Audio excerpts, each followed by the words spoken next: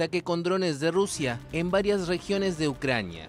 Moscú ha amenazado con hundir esos buques tras retirarse del acuerdo que permitía las exportaciones de granos ucranianos. Moscú amenazó con atacar centros de toma de decisiones ucranianos en caso de bombardeos con armas occidentales en suelo ruso o en la península de Crimea.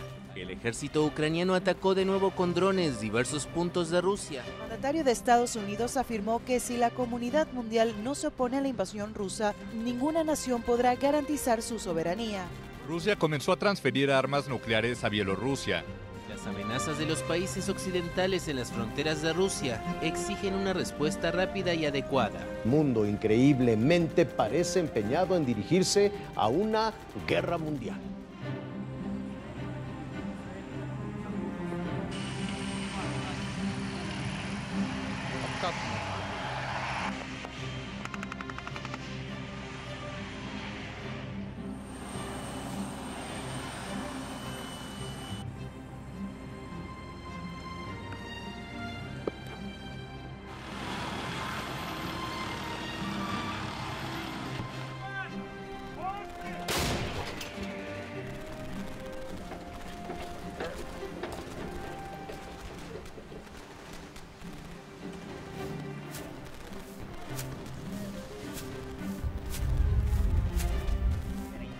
Estadounidense cree que Rusia ya ha ganado la guerra en Ucrania.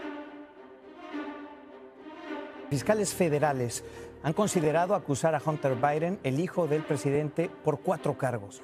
Hunter Biden reconoció haber tenido un error de juicio al estar en la directiva de una empresa energética de Ucrania. Los legisladores republicanos abrirán una investigación contra el presidente estadounidense Joe Biden por supuesta corrupción. El hijo del presidente de Estados Unidos fue acusado formalmente el jueves de dos cargos por declaración jurada falsa de que no consumía drogas ilegales en el momento en que adquirió un revólver Colt. Un tercer cargo lo inculpa por posesión ilegal del arma, basada en una declaración falsa. Donald Trump calificó al presidente estadounidense Joe Biden de enemigo del Estado.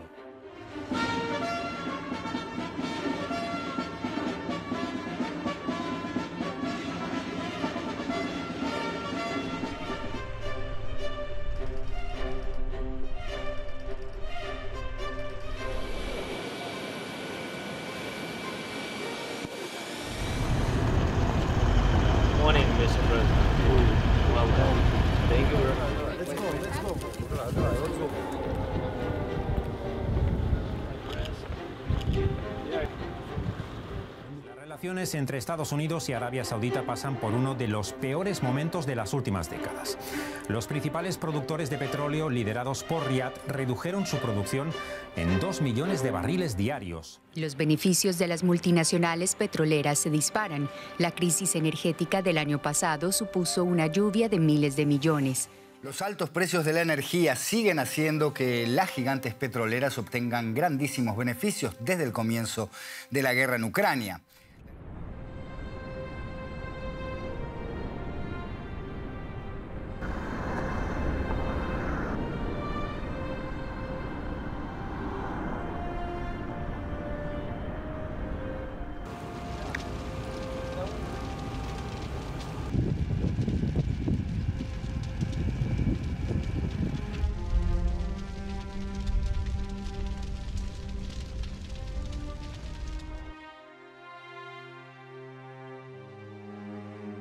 Ya casi comenzamos amigos. Mientras todos se conectan, estamos leyendo y respondiendo todos sus comentarios en vivo. Escríbenos en el chat, nos encantaría saber tu opinión.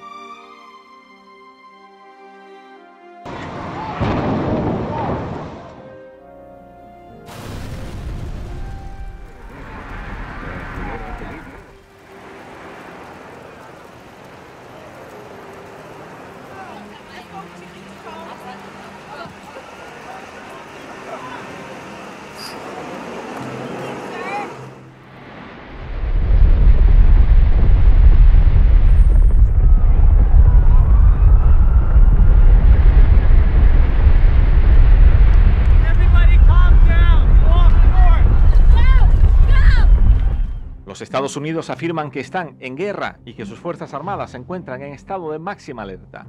El presidente Bush ya ordenó a sus tropas que estén listas para actuar en cualquier momento. Estados Unidos denuncia que hay armas de destrucción masiva en Irak y supuestos vínculos de Saddam Hussein con Al-Qaeda. 20 de marzo de 2003. Estados Unidos ataca Irak.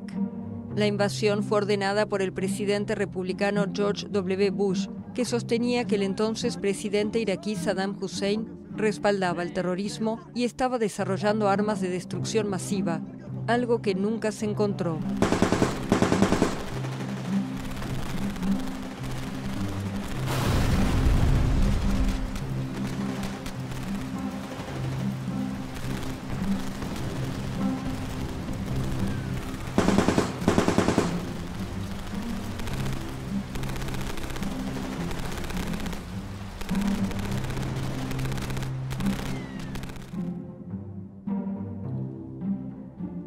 El 29 de marzo de 1973, Estados Unidos decidió retirar a sus efectivos militares de la guerra de Vietnam tras años de conflicto infructuoso contra la guerrilla comunista de Vietcong y el ejército de Vietnam del Norte. La bandera de Estados Unidos en Vietnam se arrió hace medio siglo. La embajada en Saigón cerraba sus puertas y comenzaba el repliegue del medio millón de soldados estadounidenses. Una guerra todavía seguiría durante dos años más. La guerra del Vietnam se batía en el aire, las colinas y los arrozales en 1973. El problema es que Vietnam quedó partido en dos, ya que al norte del paralelo 17 se creó un gobierno comunista y al sur uno pro-occidental.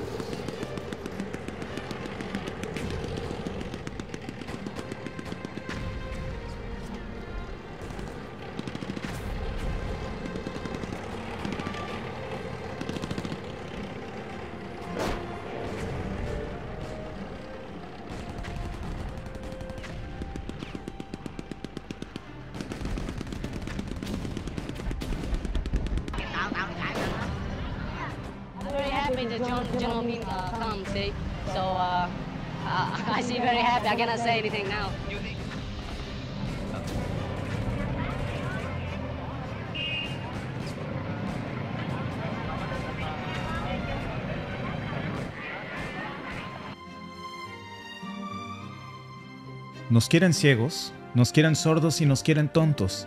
Por eso al algoritmo no le gusta que veas nuestros videos, porque no repetimos como pericos el mismo guion que las élites les escriben a todos los medios de comunicación para que lo lean al mismo tiempo. Hace 30 años se retiraban las tropas soviéticas de Afganistán, una invasión que duró 10 años y cuyo fiasco es considerado uno de los detonantes de la caída de la URSS. Una guerra en la que la Unión Soviética luchó para evitar la propagación del fundamentalismo islámico.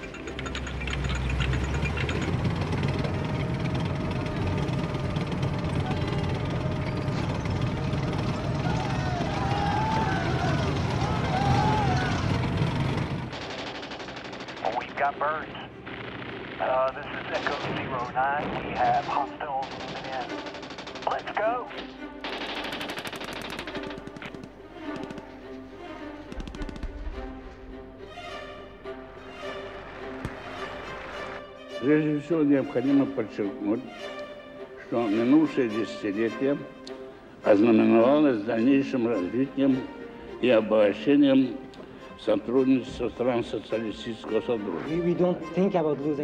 Uh,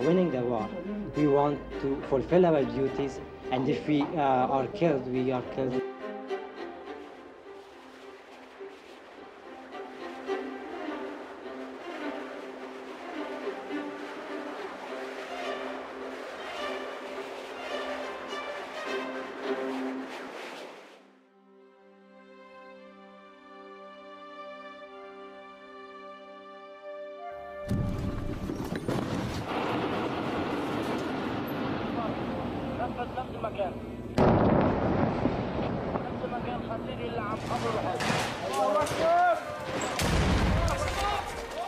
Los más intensos combates por el control de la segunda ciudad siria. Hace 12 años nadie se imaginaría que una serie de protestas multitudinarias terminarían en una guerra civil. Unas protestas pacíficas que pedían un cambio de rumbo político en Siria, pedían el fin del clan al-Assad. Uno de los conflictos más terribles del siglo ha dejado una estela de violencia extrema y una colosal tragedia humanitaria, sin que se avisore una esperanza inmediata de reconstrucción o reconciliación. El éxodo de sirios que huyen del noroeste del país en guerra no se detiene. La ONU denunció el lunes que unas 900.000 personas habrían sido desplazadas desde el 1 de diciembre, cuando el gobierno de Bashar al-Assad lanzó una ofensiva contra la región de Idlib, el último gran bastión yihadista y rebelde de Siria. Estados Unidos y Rusia siguen enfrentándose dentro y fuera de Siria. La injerencia de potencias extranjeras que tomaron partido, que enviaron dinero, armas y combatientes, además de la intervención de organizaciones extremistas con sus propios objetivos, convirtieron esto en mucho más que una batalla entre sirios a favor o en contra del presidente.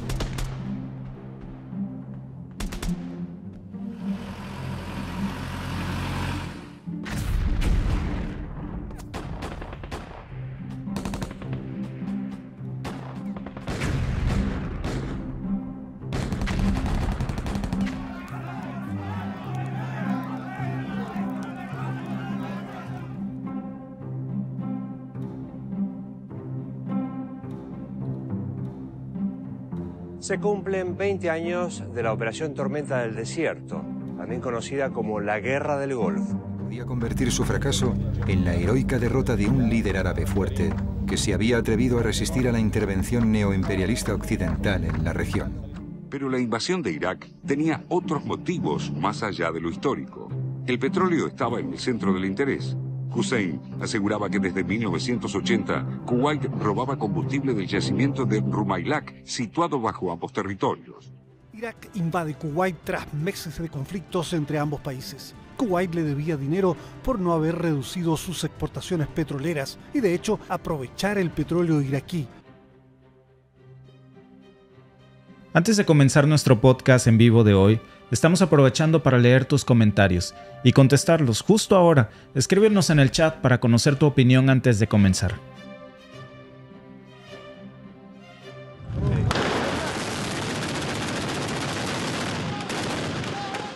Aquí comenzó todo el 15 de febrero.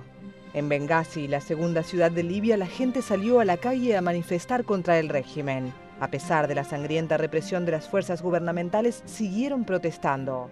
El régimen libio de Muammar Gaddafi, cuyas tropas asedian la ciudad, anunció un cambio en su estrategia.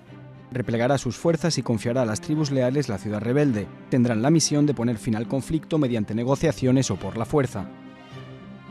El anuncio parece destinado a complicar la tarea de la OTAN, en la medida en que implica a civiles. La OTAN alegando la protección a los derechos civiles, aunque muchos expertos apuntan a intereses más ligados al petróleo, inició una ofensiva militar y ayudó a los rebeldes a tomar el poder.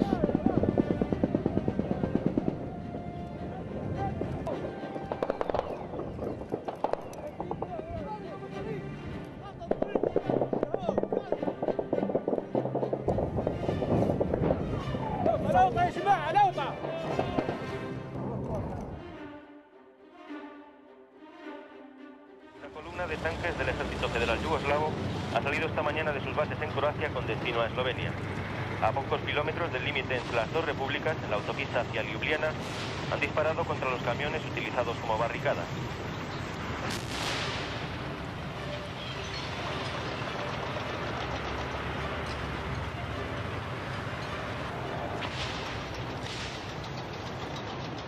En En 1992, la República de Bosnia-Herzegovina declaró su independencia respecto de Yugoslavia. De forma inmediata estalló la guerra civil entre los serbios de Bosnia, que querían seguir formando parte de Yugoslavia, y los musulmanes y croatas de aquella república. Uno de los juicios más importantes de la historia reciente de América Latina. Aquí se investigarán los crímenes cometidos en el marco del Plan Cóndor.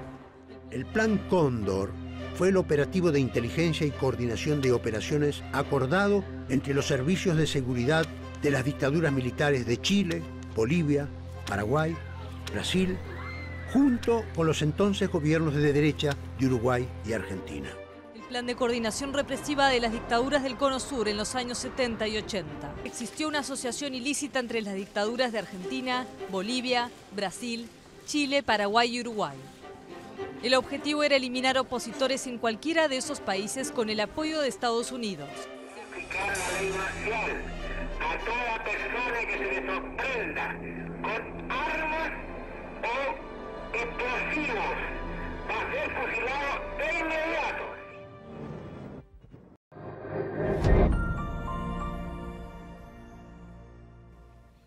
Hola, hola a todos, bienvenidos, feliz lunes, ¿no te ves, Alba? Feliz lunes. Te Ay, ves a la mitad. Ay, ay, se me movió la silla. No, mira, permíteme tantito y ahorita lo arreglamos. A ver, es que me, me andaba yo queriendo esconder. Como dicen en mi pueblo, ya me estaba dando la pena. Y me andaba yo queriendo esconder, amigos. Pero no, aquí estoy. Y vamos a empezar esta semana. ¿Cómo han pasado cosas en estos días, amigos? ¡Qué barbaridad! Pero antes de empezar con todo lo que ha pasado, vamos a mandarle muchos saludos a nuestro amigo Don Justo Gusiván, que nos ve desde el Estado de México, a nuestro ahijado Álvarez, a Lidia, a Isabel Reyes y a Felipe que hoy está de manteles largos, que hoy es su cumpleaños. Muchas gracias por unirse a todos, saludos desde donde nos ven, gracias de verdad, muchos saludos y abrazos a todos los que se nos unen cada noche. Ah, pues muchas felicidades. Eh, por cierto, tenemos, como dice Alba, muchísimos temas de los cuales hablar. Y vamos a comenzar acerca de esto que fue un ejercicio, un simulacro de armas nucleares, un simulacro de desastre nuclear que acaba de hacer Rusia, eh, cuidando ya qué pasaría en caso de un desastre nuclear. Algunas versiones apuntan a que Estados Unidos próximamente haría un simulacro similar. No lo sabemos oficialmente, pero lo que sí sabemos es que precisamente después de que Rusia terminó su simulacro nuclear, en donde ellos mismos estimaron que el 70% de su territorio podría ser devastado, ¿por qué aceptaría Rusia algo así? Porque en consecuencia, ¿cómo quedaría el resto de la humanidad si es que alguien queda vivo? Eh, al mismo tiempo que terminaba este simulacro, Estados Unidos estaba haciendo una nueva prueba de misil balístico intercontinental y Corea del Norte también hizo un simulacro nuclear gravísimo, Alba. Terrible, cada vez todo el mundo anda haciendo más simulacros, terrible, terrible.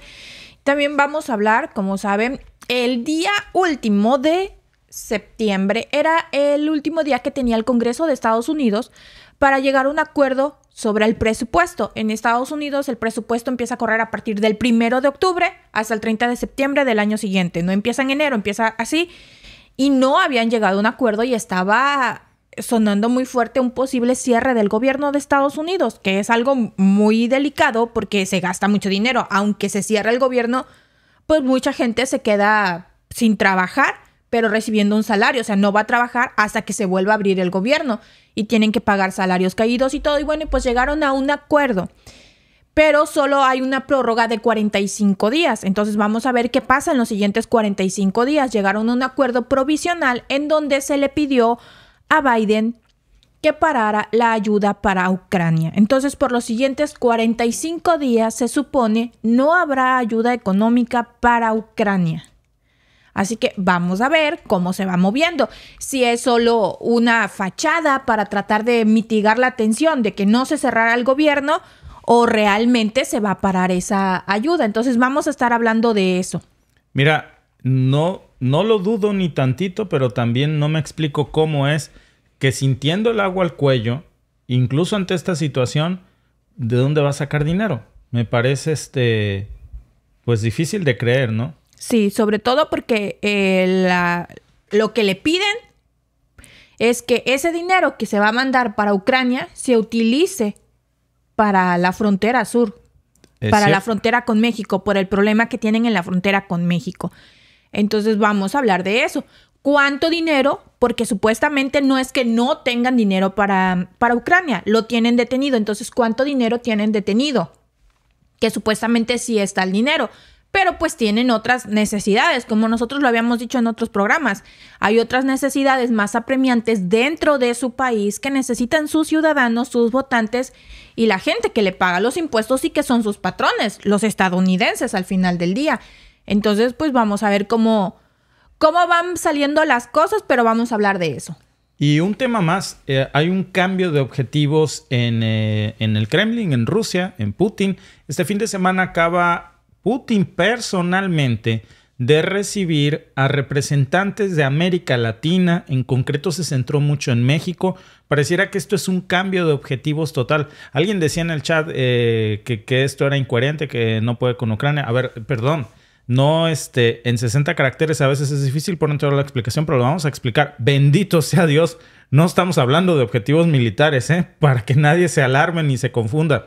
Estamos hablando de objetivos económicos, de objetivos geopolíticos y parece que imagínense cuán importante es esto en la agenda, el cambio de sentido de dirección del Kremlin, de Rusia, que ahora apunta totalmente para América Latina y tan importante es que realiza un foro especialmente para América Latina. Putin en persona los recibe a representantes de México, a representantes de Colombia, de Argentina, de Brasil, de Paraguay.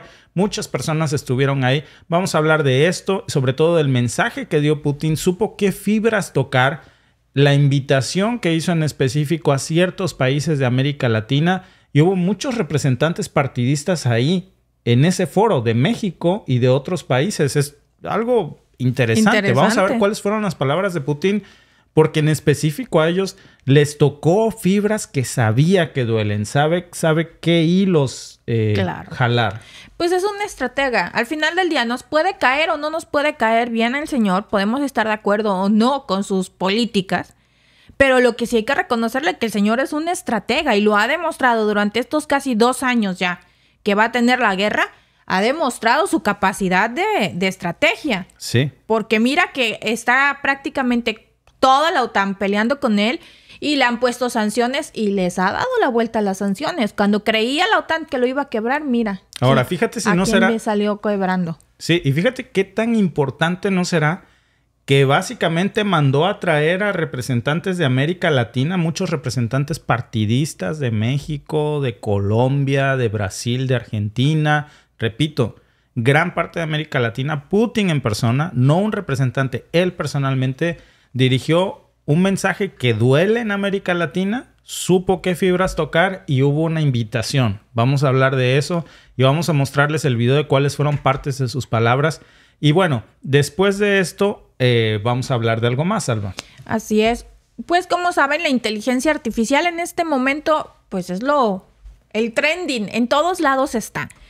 Y han puesto comerciales para hacer publicidad con artistas y actores muy reconocidos de Hollywood, en donde te dicen, no, pues afíliate aquí, un plan dental, los están utilizando para llamarte y hacerse pasar por alguien de tu familia para sacarte dinero. Las estafas están a todo. Inclusive a actores muertos los están reviviendo con la inteligencia artificial y los están haciendo hablar y promocionar cosas. Y ellos ya no están aquí. Entonces vamos a hablar de cómo están utilizando los spams y los scammers toda esta información a través de nuestras bases de datos, cómo las obtienen, cuando nosotros estamos más expuestos y de qué manera podemos protegernos en este mundo en donde cada vez valoramos más nuestra privacidad y donde parece ser que cada día es más difícil tener privacidad. Y es que es muy fácil caer, ¿no? Sí. Porque dices, ah, caray, es que se sabe mi nombre, dijo mis datos. Cada vez es más fácil caer en estas estafas si no se pone uno adecuado y literalmente te roban todo en un segundo con una sola llamada si no estamos atentos. Cada vez va siendo más complejo, pero bueno, tú nos traes varios. Sí, es que es increíble la cantidad de llamadas falsas que puede recibir una persona al día. Hay países que reciben más, hay países que reciben menos, pero no es algo solo que nos afecta en Latinoamérica, es algo que está afectando al mundo. Pero la cantidad de llamadas que una sola persona puede hacer al año es increíble. Y luego las las, este, los datos. O sea, el porcentaje de gente que cae en estas estafas es altísimo.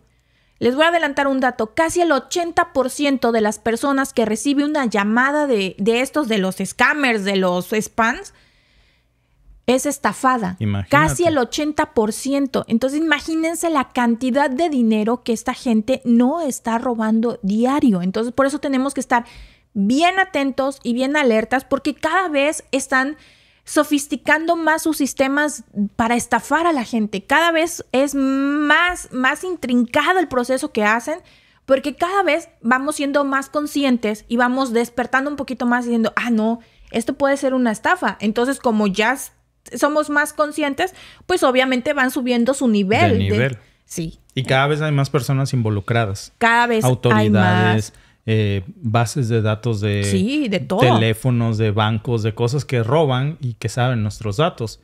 Y finalmente vamos a estar hablando también, amigos, acerca, fíjense qué dato tan revelador hace un ex agente de la CIA.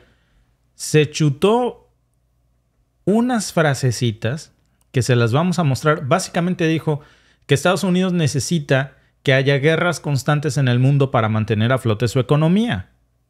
¿Cómo ves, Alba? ¿Tú le crees? No, ¿cómo crees? Pues ya nos lo sospechábamos, pero que lo diga este personaje, les vamos a mostrar sus declaraciones justo en el momento en que se lanza un informe acerca de los niveles de exportaciones, no de importaciones, de exportaciones de gas licuado de Estados Unidos a Europa, y en donde se demuestra cómo gracias al conflicto eh, en Ucrania hay un super ganador que son eh, las empresas petroleras y de gas de Estados Unidos. Imagínense, para ponerlo en contexto, estábamos hablando de que antes de que el conflicto estallara, eh, gran parte de la Unión Europea obtenía su gas licuado eh, de Rusia, obviamente antes de las sanciones, a menos de 30 dólares, después 25 dólares.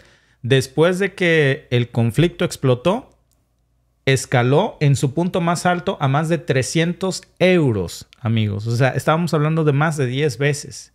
Vamos a hablar de este dato, de estas declaraciones impactantes que no nos sorprenden, pero sí nos impacta que nos lo diga un director, exdirector de la CIA, un exfuncionario de la CIA, es este revelador. Así que bueno, si ustedes están listos para comenzar, nosotros también.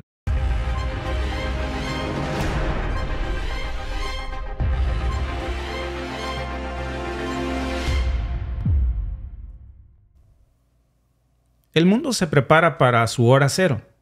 Esta semana Rusia ha efectuado un simulacro de ataque nuclear que afectaría a 11 zonas horarias distintas. Hace unos días Corea del Norte, no sé si lo vieron, hizo exactamente lo mismo. Y Estados Unidos también efectuó este fin de semana una prueba más de un misil balístico intercontinental. Ahora, ¿qué está pasando en el panorama global? ¿Estamos realmente al borde de una confrontación nuclear? ¿Están los países mostrando músculo o hay preocupaciones genuinas sobre un posible escenario de guerra nuclear? Vamos por partes. Imagínense por un momento que el 70% de las viviendas de un país quedaran reducidas a cenizas. Pues fíjense que de acuerdo con científicos de la Federación de Rusia, esa es precisamente la devastadora realidad que enfrentarían si se desencadenara una guerra nuclear. Una destrucción de ese calibre acabaría con toda la infraestructura vital de Rusia. Puede parecer exagerado, pero viniendo de ellos mismos, ahora, quizás eh, pueda parecer el fin del mundo, pero este es el escenario que Rusia ha decidido simular a nivel nacional. ¿Por qué ahora? ¿Y por qué justo al mismo tiempo en que también, por cierto, lo hace Corea del Norte, con quien recientemente tuvieron acercamientos y prometieron una colaboración militar cercana? Para comenzar, amigos, es la primera vez, por cierto, en toda la historia que Rusia lleva a cabo un ejercicio nuclear de esta magnitud. Hasta la fecha los simulacros se hacían solamente por pequeñas regiones, pero nunca de manera simultánea. Rusia es enorme.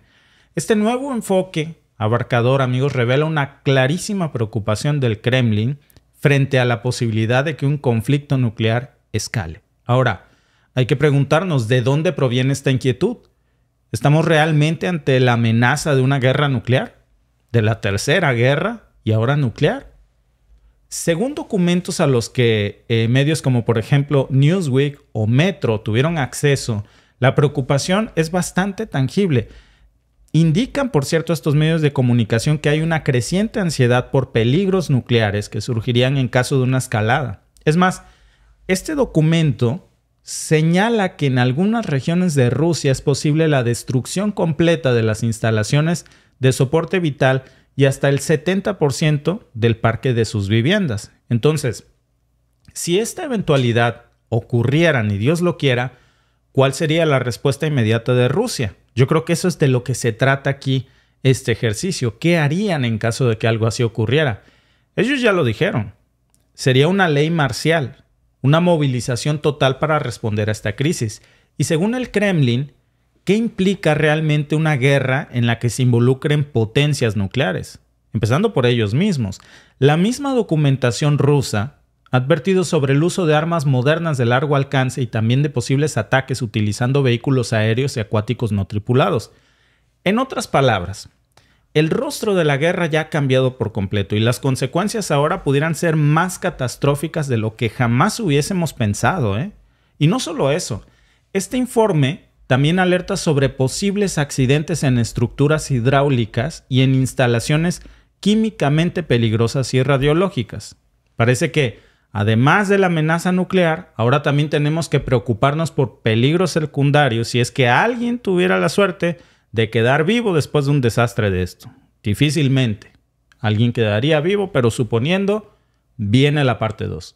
En este simulacro, Rusia ha organizado ya equipos de rescate de emergencia no pertenecientes a su personal para proteger a la, población, rusa de la radiación y asegurar la provisión de alimentos y medicinas. Ahora, escuchen esto porque a mí me pareció que es muy importante.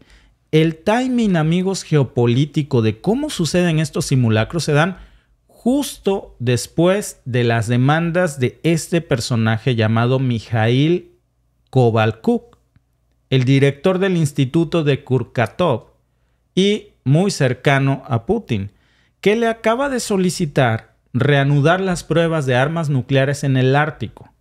Pruebas que, por cierto, habían quedado suspendidas desde la era de la Unión Soviética. Entonces, Parece que las piezas en el tablero mundial, hablando de armamento nuclear, se están moviendo muy rápido. Y las potencias globales están haciendo sus jugadas. La pregunta, amigos, es, ¿hacia dónde nos lleva todo esto? ¿Por qué Moscú hace este ejercicio tan devastador en donde él mismo dice que perdería el 70% de su territorio habitable?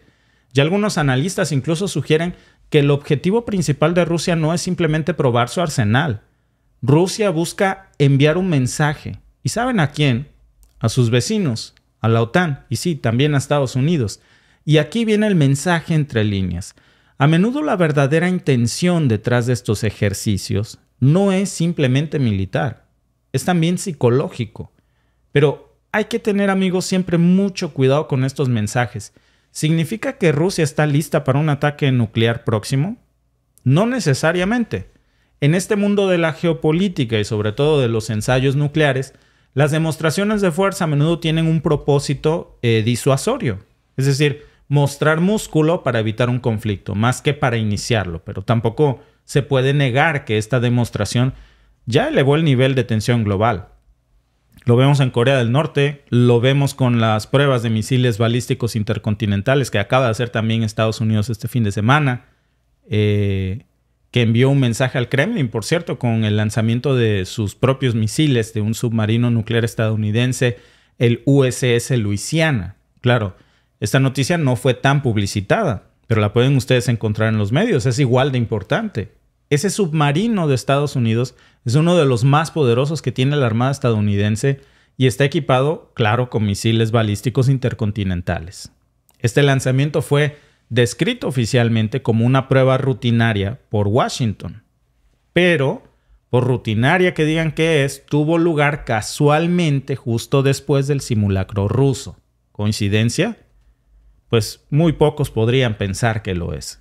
En este delicado juego de ajedrez global, cuando se habla de una cosa como armas nucleares, amigos, no es difícil verlo como una respuesta directa de Estados Unidos a Rusia frente a estos ejercicios de simulacros nucleares una contrarrespuesta, un recordatorio de que ellos también tienen capacidades nucleares muy significativas. Así que hay que ver esta imagen completa.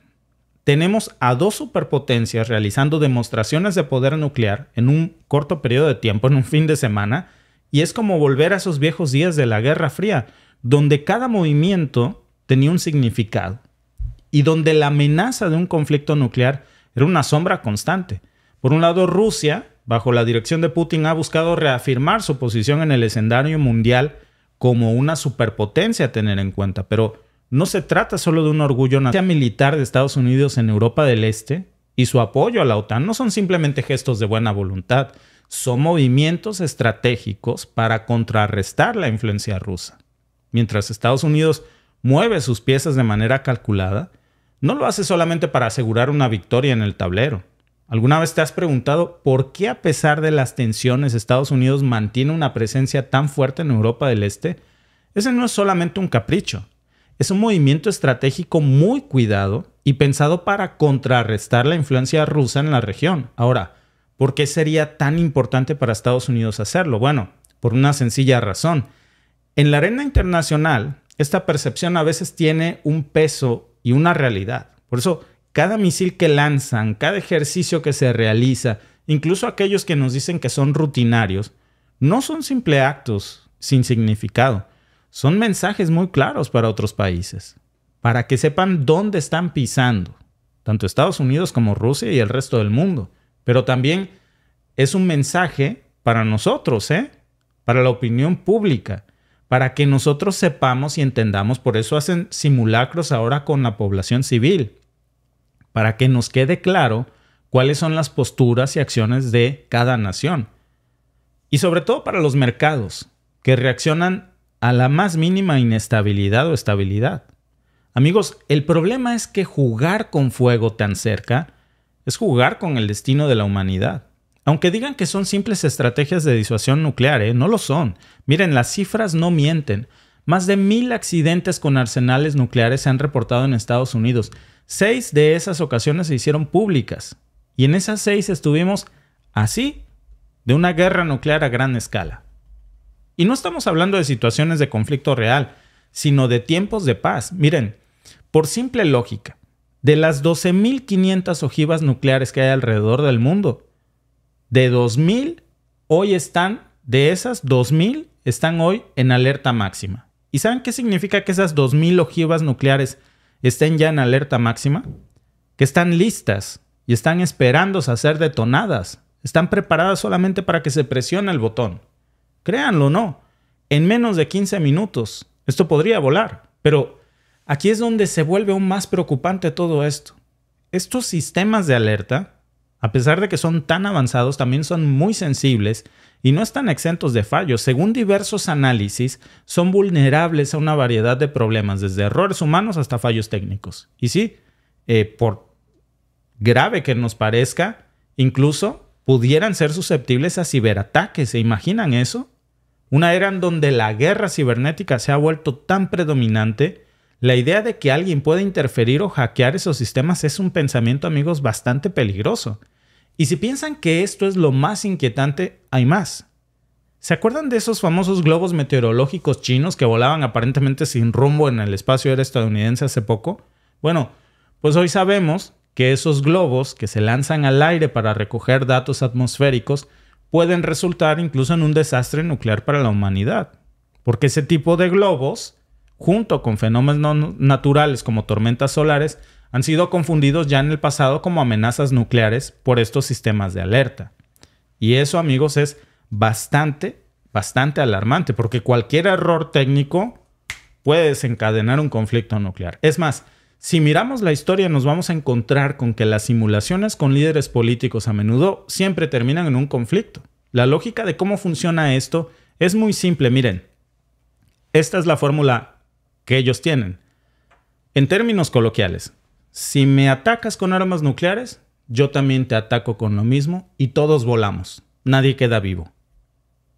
Eso incluso tiene un nombre en la geopolítica militar.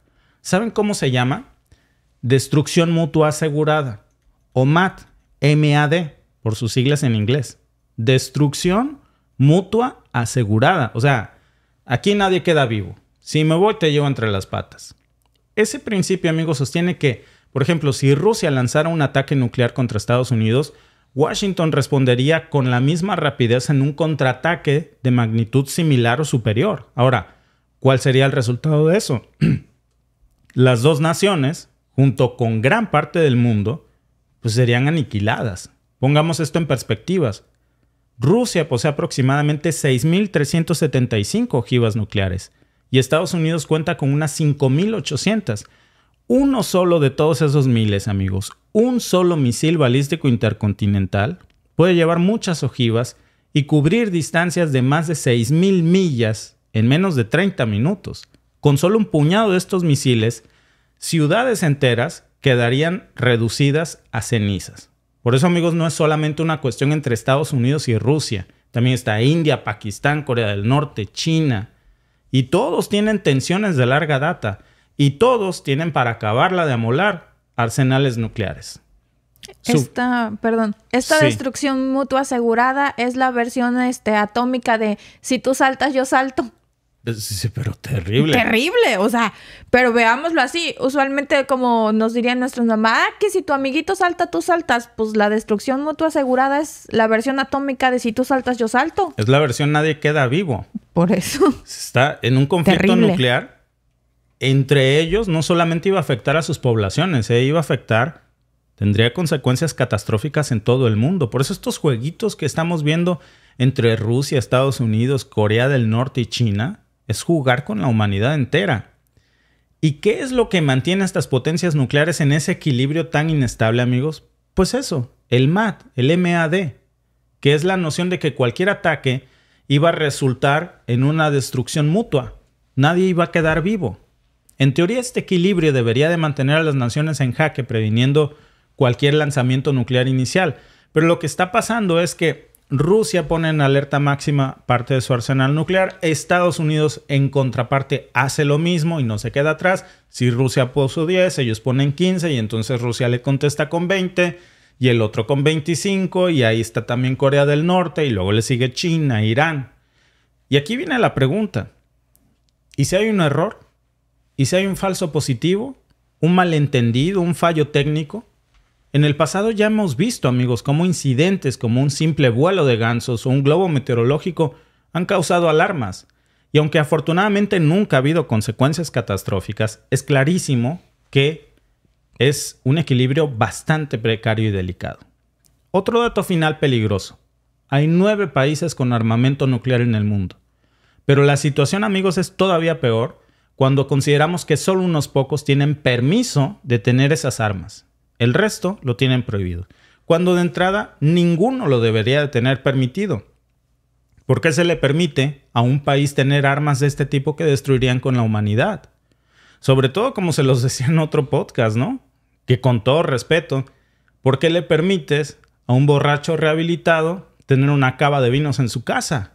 O sea, Rusia no debería tener este armamento nuclear, perdón, pero es que tampoco Estados Unidos, que ya usó en dos ocasiones armas nucleares. Entonces parece una contradicción. Ningún país debería de tener permiso para tener este tipo de aberraciones. Y no solo es eso. Esta estructura, amigos, ha llevado a muchos a ver las armas nucleares como un símbolo de poder.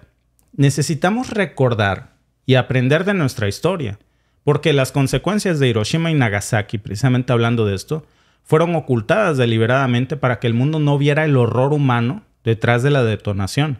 Y a menudo se presentan las armas nucleares como un mal necesario en la cultura popular, pero no lo es. Hemos olvidado nuestra propia humanidad. ¿Ustedes creen que realmente necesitamos estos símbolos mortales para poder mantener un equilibrio de poder global o como una estrategia de disuasión mundial? Yo creo que es momento de replantearnos, amigos, a dónde queremos llegar como humanidad, porque parece que todos los caminos que esta humanidad lleva llevan a la destrucción. Y bajo el miedo de la destrucción es como queremos construir un equilibrio mundial de si yo me voy, te llevo entre las patas, Alba. No, porque entre más avanza la tecnología, más destructiva se vuelve. Y no es necesariamente en la tecnología, sino lo que hacen con ella. Entre más tecnología hay, más armas destructivas hacen, más peligrosas. Entre más avanzamos, en la inteligencia artificial, más retrocedemos en la inteligencia humana. Totalmente, porque Eso es ve, real. ve cómo estamos. De hecho, muchos de ustedes nos decían, este, ahora para dónde voy, es para el otro lado. Ay, hoy, hoy nomás no le doy, hoy nomás no le doy. Voy a poner una marquita en el piso. Sí. Pero como nos decían muchos amigos el, el viernes que iba a haber un simulacro en Estados Unidos de ataque nuclear. Y no, no pudimos encontrar información. Pero lo que sí yo ¿Te digo, acuerdas el que hubo en Nueva York? este sí, que hasta salió Tulsi diciendo que burlándose que ella es una este ¿Te acuerdas que decía? Una vez mostramos ese comercial. Que te pusieras seguro bajo un techo. Sí, que te y que, si cambiaras pudieras, la eh, ropa. que te cambiaras la ropa y que te fueras al sótano de tu casa, por favor. Por favor, si hay un ataque nuclear, no nos Si va a no dar es tiempo. COVID. O sea, no es COVID, no es algo que tengas que tirarte al piso, no es una balacera, no es una lluvia que necesites cambiarte el agua, este, la ropa, perdón. O sea, si hay un ataque nuclear, no nos va a dar tiempo ni de irnos al basement, al sótano, de ponernos tirados en el piso, de cambiarnos la ropa. O sea, no da tiempo. ¿Para qué crear esa ilusión de si haces esto, esto, esa falsa ilusión de, de esperanza de que nos vamos a salvar? Es falso. Y ahora, ¿para qué crear un una psicología de la protección, ¿no? De Claro. decir, de- una psicología de, De yo te protejo. busca un refugio, como si hubiera uno no lo que hay. quedara. O luego esta psicología del miedo, de meter psicosis en un momento tan preocupante en todo lo que está pasando, pero también un momento tan preocupante políticamente hablando. Claro. ¿Por qué, de, por qué decides hacer el 4 de octubre, lo van a hacer, un simulacro de ataque nuclear? ¿Para qué? Para que la gente Claro. se sienta miedo y entonces presione a la otra parte del gobierno. ¿O para qué? O sea, realmente creo que eh, tendríamos que hacer un simulacro de paz, más que de ataque, que es lo que se necesita, paz, porque ya vimos que todos están listos para pelear Sí. y sacar sus mejores juguetes. Y todos tienen juguetes de... Miren, Sí. todas esas imágenes que están ustedes viendo en pantalla eh, son reales. No son juguetes, no es una película, son imágenes reales de pruebas de misiles balísticos intercontinentales y de todas las versiones habidas y por haber de, misiles en tamaños, colores. Hace poco también les hablábamos de esta famosa triada nuclear con la que cuentan países como Estados Unidos y también Rusia.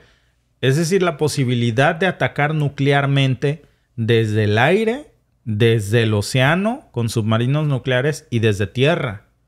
Como si no nos bastara suficiente tener una sola opción. Y a eso agréguenle el tema de los misiles hipersónicos con capacidad nuclear. Es terrible porque no va a quedar un solo lugar eh, vivo eh, o con vida en el planeta si seguimos como vamos. Vamos muy mal, ¿eh? Vamos por mal camino. Ojalá que haya coherencia, un poco de cordura en nuestros líderes, porque después de que una cosa sin ni Dios lo quiera, se llegara a desencadenar, se iban a borrar las fronteras, ¿eh? Ya no iba a haber ni rusos, ni ucranianos, ni estadounidenses, ni nada. Olvídense de eso.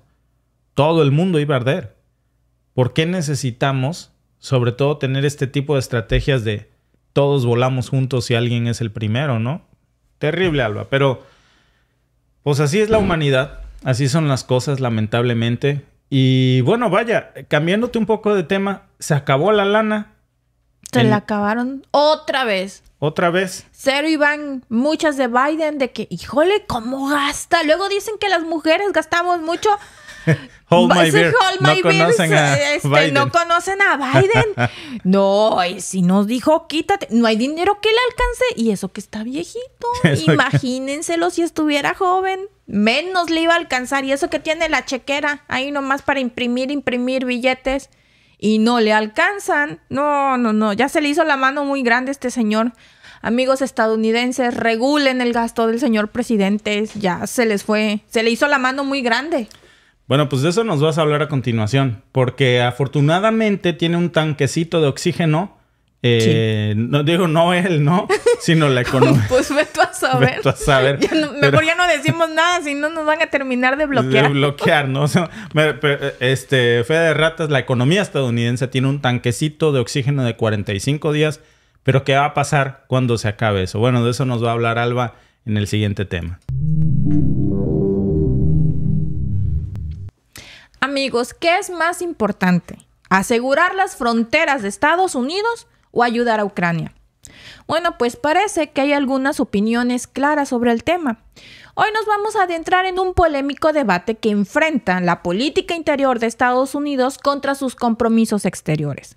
Bueno, primero, déjenme decirles que esta no es una simple pregunta de esto o aquello, blanco o negro, es una complicada trama de decisiones políticas, prioridades nacionales e influencia global. Pero ¿es realmente una sorpresa? Después de todo, cuando las naciones se enfrentan en problemas internos, las agendas exteriores a menudo pues quedan relegadas. Pero vayamos por partes. Si pensamos en las cifras, Estados Unidos tiene una de las fronteras más extensas y activas del mundo, la frontera entre Estados Unidos y México. Se extiende por cerca de 3.145 kilómetros. ¿Pero por qué es esto relevante? Bueno, según datos del Centro de Estudios de Migración, en el año 2019 más de 977 mil migrantes fueron detenidos intentando cruzar ilegalmente esta frontera.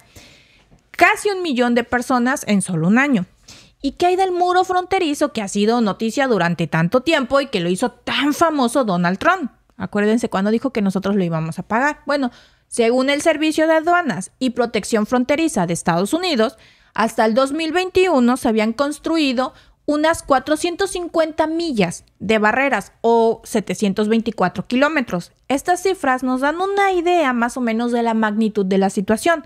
Entonces podríamos pensar, con esos números es lógico que una frontera sea una prioridad. Y sí, en cierto modo lo es, pero aquí viene un otro giro. ¿Significa eso que Estados Unidos debería de poner en segundo plano a Ucrania? Hablemos un poco pues sobre Ucrania. Este país ha estado en el centro de la atención geopolítica durante años, especialmente con Rusia. Según el Instituto Internacional de Estudios Estratégicos, desde el 2014, cuando Rusia anexó a Crimea, se estima que más de 13.000 personas han muerto a causa del conflicto en esta zona y Ucrania ha confiado con la ayuda internacional, en especial con la ayuda de Estados Unidos, tanto para el soporte militar como para las sanciones económicas hacia Rusia. Ahora, otra pregunta clave. ¿Es posible comparar la seguridad fronteriza con un conflicto militar en Europa del Este? Bueno, realmente no, pero lo que sí podemos hacer es analizar las declaraciones y las decisiones de aquellos en el poder. Y estamos hablando de Kevin McCarthy, fue muy claro en sus prioridades y aunque podemos entender las preocupaciones domésticas, la verdadera pregunta es, ¿es esto un indicativo de un cambio en la política exterior de Estados Unidos? Si retrocedemos un poco, ¿recuerdan el famoso plan Marshall después de la Segunda Guerra Mundial? Bueno, en este plan, Estados Unidos destinó una cantidad asombrosa de su Producto Interno Bruto alrededor del 1.3% según la oficina del historiador del Departamento de Estado para ayudar a reconstruir Europa. Ahora, no estoy diciendo que Ucrania sea un caso similar, pero es interesante ver cómo las prioridades han cambiado con el paso del tiempo. Tomemos un momento para entender el contexto. Kevin McCarthy, presidente de la Cámara de Representantes de Estados Unidos, ha afirmado que la seguridad fronteriza de Estados Unidos es de mayor prioridad que ofrecer un paquete de ayuda significativa a Ucrania. Pero, ¿por qué es tan importante este comentario y cuál es el contexto más amplio detrás de estas declaraciones? Al analizar las palabras de McCarthy es necesario entender que las declaraciones de figuras políticas influyentes como la de él y como la de otros actores políticos tienen repercusiones que van más allá de un simple titular. ¿Es simplemente una táctica política para apuntalar su base o hay un razonamiento más profundo detrás de ello? La frontera entre Estados Unidos y México ha sido durante años una de las principales preocupaciones de los estadounidenses. ¿Sabían que según el Pew Research Center, aproximadamente el 58% de los adultos estadounidenses ven a la inmigración ilegal como una amenaza muy seria? Con cifras como estas, es fácil ver por qué la seguridad fronteriza podría ser vista como una prioridad nacional. A esto se suma el hecho de que, según datos del Servicio de Aduanas y Protección Fronteriza de Estados Unidos, la detención de migrantes en la frontera sur, la frontera con México, alcanzó un récord en el 2021. Estamos hablando de más de 1.7 millones de personas. Con estas cifras, pues no es sorprendente que algunos quieran priorizar la seguridad fronteriza de su país. Pero hay otro lado de esta historia. Ucrania, un país que, como mencionamos anteriormente, ha estado en el centro de las tensiones geopolíticas, ha buscado el apoyo de aliados internacionales, por supuesto, como Estados Unidos, para enfrentar las agresiones y los desafíos en su región. De acuerdo con el Departamento de Comercio de Estados Unidos, Ucrania es el sexagésimo quinto socio comercial más grande de Estados Unidos, con bienes que superan los 4.500 millones en el 2020. ¿Deberían estas cifras tener un peso en la ecuación al decidir si ayudar o no ayudar a Ucrania? Pero volvamos de nuevo con Kevin McCarthy y su declaración. Mientras que algunos pueden ver su postura como una defensa necesaria de la seguridad nacional, otros podrían interpretarla como un retiro del compromiso global de Estados Unidos. Todo comenzó con la discusión sobre el financiamiento del gobierno. El reloj corría y Estados Unidos estaba al borde del cierre gubernamental. Se aprobó un anteproyecto provisional para mantener el gobierno en funcionamiento durante 45 días. Pero ¿y la ayuda a Ucrania? Ahí es donde las cosas se complicaron. Un cierre del gobierno suena dramático, y de hecho lo es. En términos prácticos, hablamos de un periodo durante el cual los organismos federales no esenciales cierran debido a falta de fondos. Esto significa que miles de trabajadores del gobierno podrían quedarse sin empleo temporalmente y muchos servicios públicos esenciales podrían verse afectados. Y seamos sinceros amigos, en un mundo ya agitado por problemas globales como la pandemia, lo último que alguien podría desear es un cierre gubernamental. Pero esperen, estamos aquí hablando de Ucrania, ¿no? Entonces, ¿qué tiene que ver un posible cierre del gobierno en Estados Unidos con la ayuda a Ucrania? Bueno, cuando los fondos se vuelven escasos y la prioridad es mantener el gobierno en funcionamiento, otras áreas como la ayuda internacional pueden quedar en segundo plano. Veamos algunos datos. Según el Congreso, el Congressional Research Service, se me lengua la traba, en 2020, Ucrania recibió aproximadamente 700 millones en asistencia de Estados Unidos destinados a varios programas, incluidos aquellos centrados en las reformas democráticas, energía y defensa. Ahora pongámonos en los zapatos de un legislador. Tienes un presupuesto limitado y la necesidad inminente de evitar un cierre gubernamental. ¿Hacia dónde diriges esos fondos? Bueno, pues según el Comité para el Presupuesto Federal responsable, el cierre del gobierno de 2018 a 2019, que duró 35 días, costó a la economía estadounidense nada menos y nada más que 3 mil millones en producción económica permanente. Esa es una cifra alarmante. ¿Puede permitirse Estados Unidos otro golpe económico de tal magnitud, especialmente después de los retos económicos recientes? La ayuda a Ucrania, aunque es esencial, representa una fracción de los gastos totales del gobierno de Estados Unidos. Entonces, ¿por qué se convierte en un punto a debatir? ¿Es simplemente una cuestión de dólares o centavos? ¿O hay un juego político más grande en marcha? Recordemos que en política a menudo las decisiones no se basan simplemente en la lógica o en el bien común, sino en la estrategia y obviamente en la percepción pública. Y hablando de percepción pública, podríamos preguntarnos, ¿cómo ven los ciudadanos estadounidenses esta situación? Bueno, pues según la encuesta de Gallup, un 60% de los estadounidenses consideran que el gobierno debería gastar más en la asistencia internacional, especialmente en áreas estratégicas. El apoyo a Ucrania no es simplemente caridad. Estados Unidos tiene intereses estratégicos en la región. Una Ucrania estable y democrática puede actuar como un baluarte contra la expansión de influencias adversas en la región. Y estas influencias adversas, obviamente, pues es Rusia. Por lo tanto, reducir la ayuda a Ucrania podría tener ramificaciones más allá de la simple asistencia bilateral. Geopolíticamente, Ucrania ha sido un aliado cercano a Occidente. ¿Deja a Estados Unidos a Ucrania en una posición vulnerable? ¿Y qué dice esto sobre la política exterior de Estados Unidos en general? bueno, Ucrania, ubicada entre dos potencias, Europa y Rusia, pues ha decidido mantener una cercanía con Occidente. Se unió al programa de Asociación Oriental de la Unión Europea en el 2009 y en 2014 firmó un acuerdo de asociación con la Unión Europea. Claramente, Ucrania ve su futuro al lado de Europa y obviamente junto a Estados Unidos. Quizás retirar la ayuda de este acuerdo temporal fue una jugada estratégica, una manera de mantener el tema en la mesa, pero sin comprometerse completamente hasta que las condiciones sean más favorables. Si bien las palabras tienen peso, especialmente cuando provienen de la oficina del presidente de los Estados Unidos, son las acciones las que verdaderamente van a definir el curso de la historia. Biden ha prometido no abandonar Ucrania, pero la retirada de la ayuda envió un mensaje mixto. Una perspectiva importante que McCarthy destacó es el hecho de que actualmente hay más de 3 mil millones de dólares destinados a ayudar a Ucrania. Esta cifra, considerablemente alta y que sí lo es, sugiere que hay fondos disponibles. Sin embargo, lo que no se dice abiertamente es cuándo y cómo se utilizarán estos fondos. McCarthy insinúa que si hay problemas en la asignación o uso de estos fondos, se puede llegar a un consenso. Aquí surge una pregunta clave.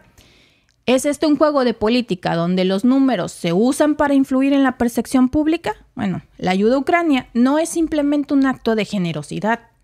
Está profundamente arraigada en la geopolítica, en la lucha de poderes entre Occidente y otras naciones, como su enemigo eterno Rusia.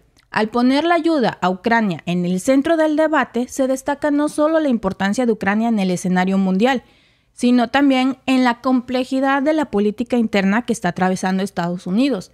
Estamos ante una situación en que las palabras y las acciones no se alinean. Y es una posibilidad, pero también estamos viendo solo una parte del rompecabezas. ¿Y qué hay detrás de escena? ¿Qué se está orquestando con estos movimientos? ¿Reafirmarán la promesa de Biden a Kiev o se vendrá un cambio en la geopolítica de Estados Unidos? ¿Tú qué crees? Pues yo lo que creo es que no sé qué creer. Mira, no me extrañaría nada que muy por debajo del agua le sigan mandando ayuda a Ucrania. Yo te decía en la mañana que lo que pienso es que lo van a seguir apoyando, pero con alguna especie de partida secreta. Porque si esto se hiciera público, generaría mucha indignación en los estadounidenses. Decir, óyeme, ¿cómo me puedes decir que no puedo ir a una oficina de gobierno a hacer un trámite porque están cerradas las oficinas por este, este procedimiento burocrático que tiene Estados Unidos? Pero si le sigues mandando fondos a Ucrania, no, no tendría lógica. De por sí yo creo que ya hay mucha indignación en el mundo por este tema. Y ahora imagínate escalarlo a ese nivel, pues se les iba a salir de control. Em, pero habrá que ver qué piensan los republicanos, ¿no? Claro. Muchas gracias a nuestro amigo José González por tu superchat, amigo. Muchas gracias. Sí, claro. Por eso es que ahorita está el problema donde supuestamente se paró la ayuda a Ucrania. Pero McCarthy dijo que hay 3 mil millones ahí listos para utilizarse, pero pues que tienen que saber cómo y cuándo. Yo creo que quieren ver cómo se desglosaría esa ayuda, porque Imagínate con los señalamientos tan fuertes que tienen funcionarios de, aunque supuestamente ya lo corrieron, ¿verdad? Funcionarios de la administración de Zelensky de corrupción, obviamente no puedes mandar así tanto dinero sin saber en qué se va a utilizar. Claro, pero aún así no me extrañaría, eh, sinceramente, que, que lo hicieran. Por cierto, ahí tienen en pantalla el código QR para poder unirse a nuestro grupo de Telegram. Eh, de Telegram. Este grupo de Víctor y Alba en vivo, todos pueden, todos pueden escribir.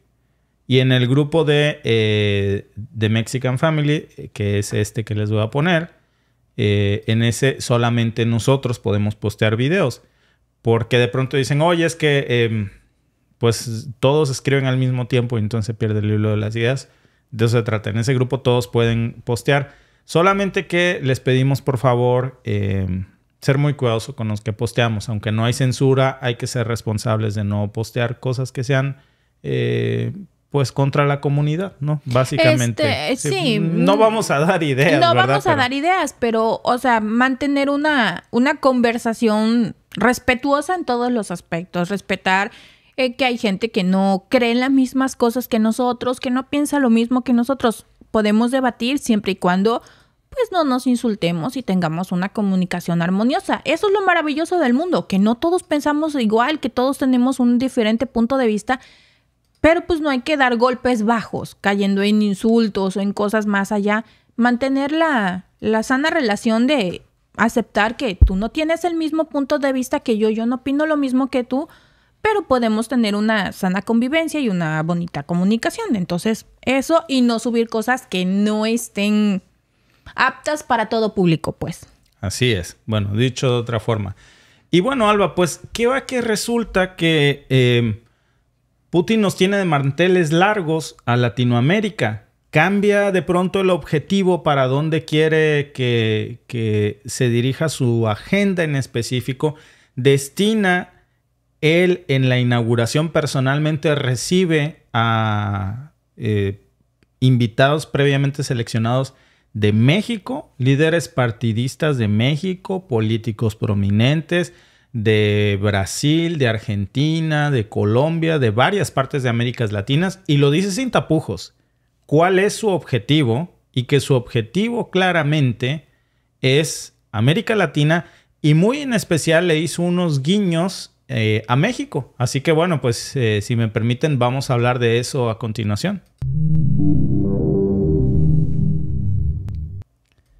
Amigos, resulta que este fin de semana Putin ha dejado claro que el próximo objetivo de Rusia es América Latina. Y México, por cierto, es el primero en su lista. Pero afortunadamente no hablamos de un objetivo militar. ¿Se han preguntado ustedes alguna vez cuánto influye Rusia en América Latina? O quizá cuánto le interesa a Putin fortalecer la relación con América Latina y específicamente con México. Aquí hay algunos datos que van a sorprendernos. Dichos de propia voz de Vladimir Putin este fin de semana para América Latina.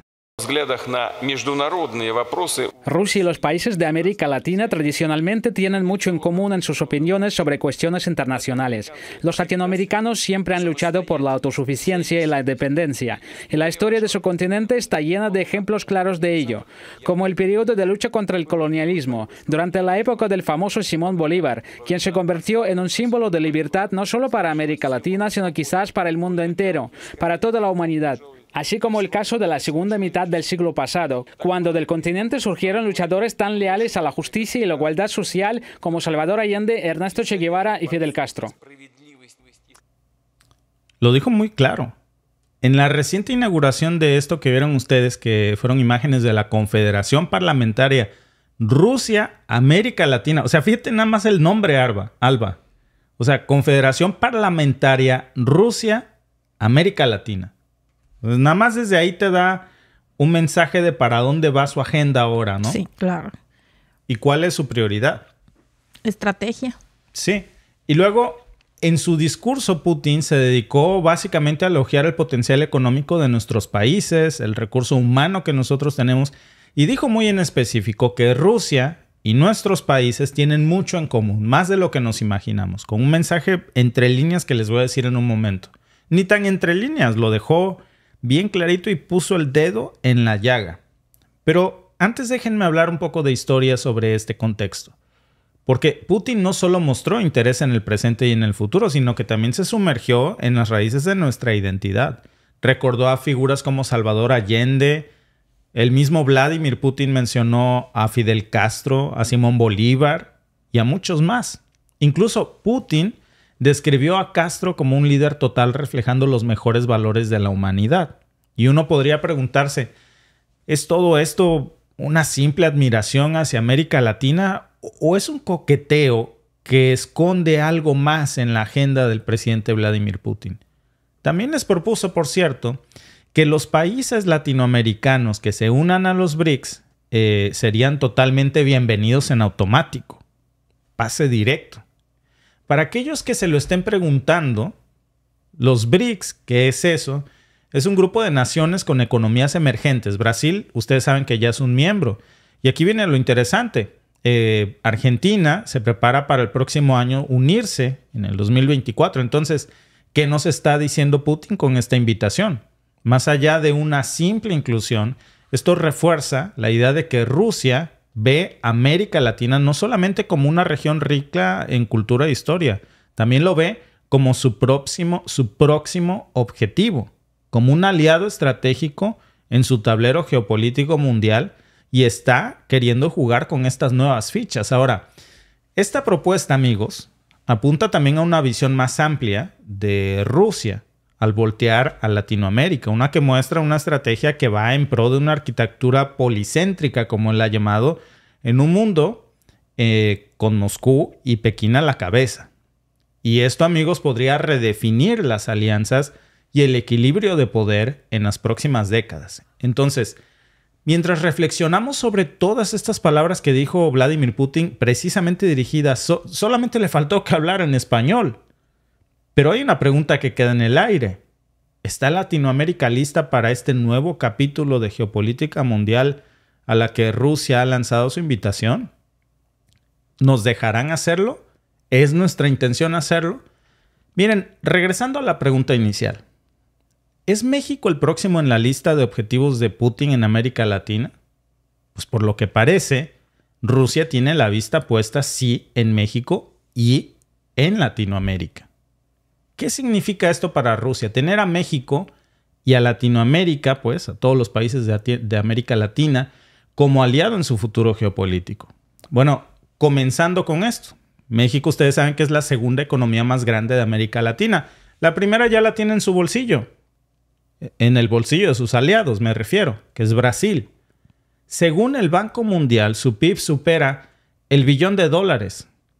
Y no solamente es una potencia económica, también su ubicación geográfica lo coloca en el justo al lado de Estados Unidos, el vecino del norte y el principal competidor geopolítico de Rusia. En algunas cosas incluso Brasil ya supera a Estados Unidos como en la producción de maíz.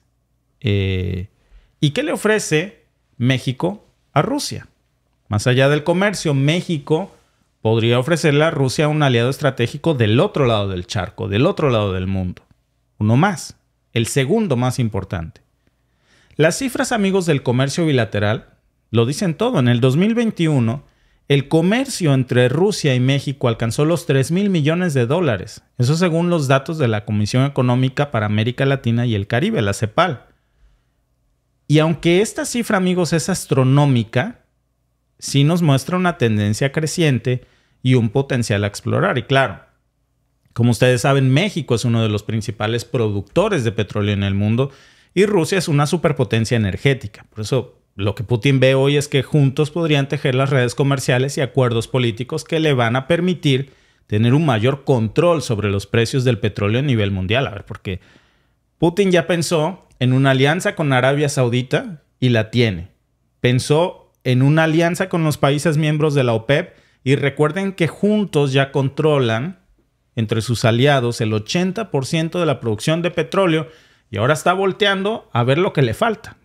Y entre esos, por supuesto, que en Latinoamérica está Venezuela, está México y otros países importantes productores de petróleo. ¿Se imaginan ustedes el impacto de eso en la economía global? Eso es parte de lo que Putin está pensando ahora. Y aquí hay otro punto más interesante. Durante esta reunión, con líderes específicamente latinoamericanos, Putin no solamente se sentó con cualquier representante, ¿eh? se, se reunió personalmente, ahí estuvo él, con líderes de los partidos que actualmente gobiernan. Eso significa que Rusia no solo está buscando alianzas, está buscando influenciar el pensamiento político en América Latina con aquellos que tienen el poder de tomar decisiones. Eso no es una coincidencia. Si no fuera algo tan importante para él, no hubiera estado personalmente ahí. Entonces, si sumamos todos estos puntos, nos encontramos amigos con una narrativa bien interesante. Rusia, ahora con esta mirada que tiene América Latina y en particular con este mensaje que lanzó a México, busca no solo expandir su influencia económica, también busca posicionarse estratégicamente en un juego geopolítico más amplio un juego donde cada movimiento cuenta y donde cada alianza puede cambiar el equilibrio de poder. Entonces, ¿podríamos decir que México es el próximo en la lista de los objetivos de Putin en América Latina? Por supuesto. Hay que ver las señales que son muy claras. Parece que ya está en esa lista y no solamente México, la región entera de América Latina está en su radar. La cuestión es qué están dispuestos a hacer para fortalecer esta alianza y convencer a América Latina de esto, sobre todo teniendo como vecino a Estados Unidos, porque esto es algo que él sabe que se viene. Y mientras esperamos para ver cómo se desarrollan, amigos, todos estos acontecimientos, es bien importante dejar bien en claro algo aquí. América Latina y México no son simples peones en un juego global. Ellos tienen su propia agenda, tienen sus propios intereses, tenemos nuestras propias relaciones internacionales. Por eso en este juego de ajedrez geopolítico, no solo hay que ver estos movimientos de las grandes potencias y emocionarnos porque Vladimir Putin nos invitó a un foro que nos hizo especialmente para América Latina.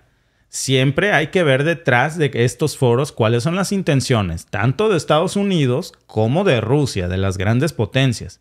Ahora, vean por ejemplo las palabras tan cuidadosamente seleccionadas que Putin ha dicho para América Latina. Dijo específicamente, anhelan la libertad y la independencia. Putin sabe qué heridas tocar. Sabe que a lo largo de la historia, amigos, el continente ha experimentado diferentes formas de intervencionismo, principalmente, obviamente, de Washington. Y lo que Putin está sugiriendo en esta cumbre, con países de América Latina en territorio ruso, es básicamente, amigos, que eh, nos animemos a tomar un nuevo rumbo. Es lo que nos está diciendo aquí una cooperación más estrecha con Rusia y con una unión económica euroasiática en distintos ámbitos. Una autonomía geopolítica, que es lo que él ha dicho, eh, y económica para América Latina, sin el dominio de Washington, sin sus imposiciones. Ahora, si echamos un vistazo atrás, amigos, es clarísimo que Putin ha estado jugando sus cartas de manera estratégica en América Latina, preparando el momento para esto. Por ejemplo, ¿se han preguntado alguna vez ustedes cuál es el interés de Rusia en nuestra región? No solamente es geopolítica, porque ya ha dejado sus huellas aquí desde hace varios años. Miren, ¿recuerdan la crisis sanitaria? Bueno, ¿cómo olvidarlo, no? La pandemia. ¿Quiénes estuvieron allí para Latinoamérica cuando otros países occidentales estaban acaparando las vacunas de Pfizer y de Moderna? ¿Cuáles fueron las primeras en llegar a México? Y gratis. Las rusas, las Sputnik. Sinovac y Rusia con, con Sputnik 5, ¿sí? La vacuna china y la vacuna rusa. Curiosamente, los dos miembros de los BRICS. Y curiosamente, dos, dos vacunas que no eran aceptadas ni reconocidas en el, en el sistema de vacunación estadounidense, ni canadiense, ni europeo.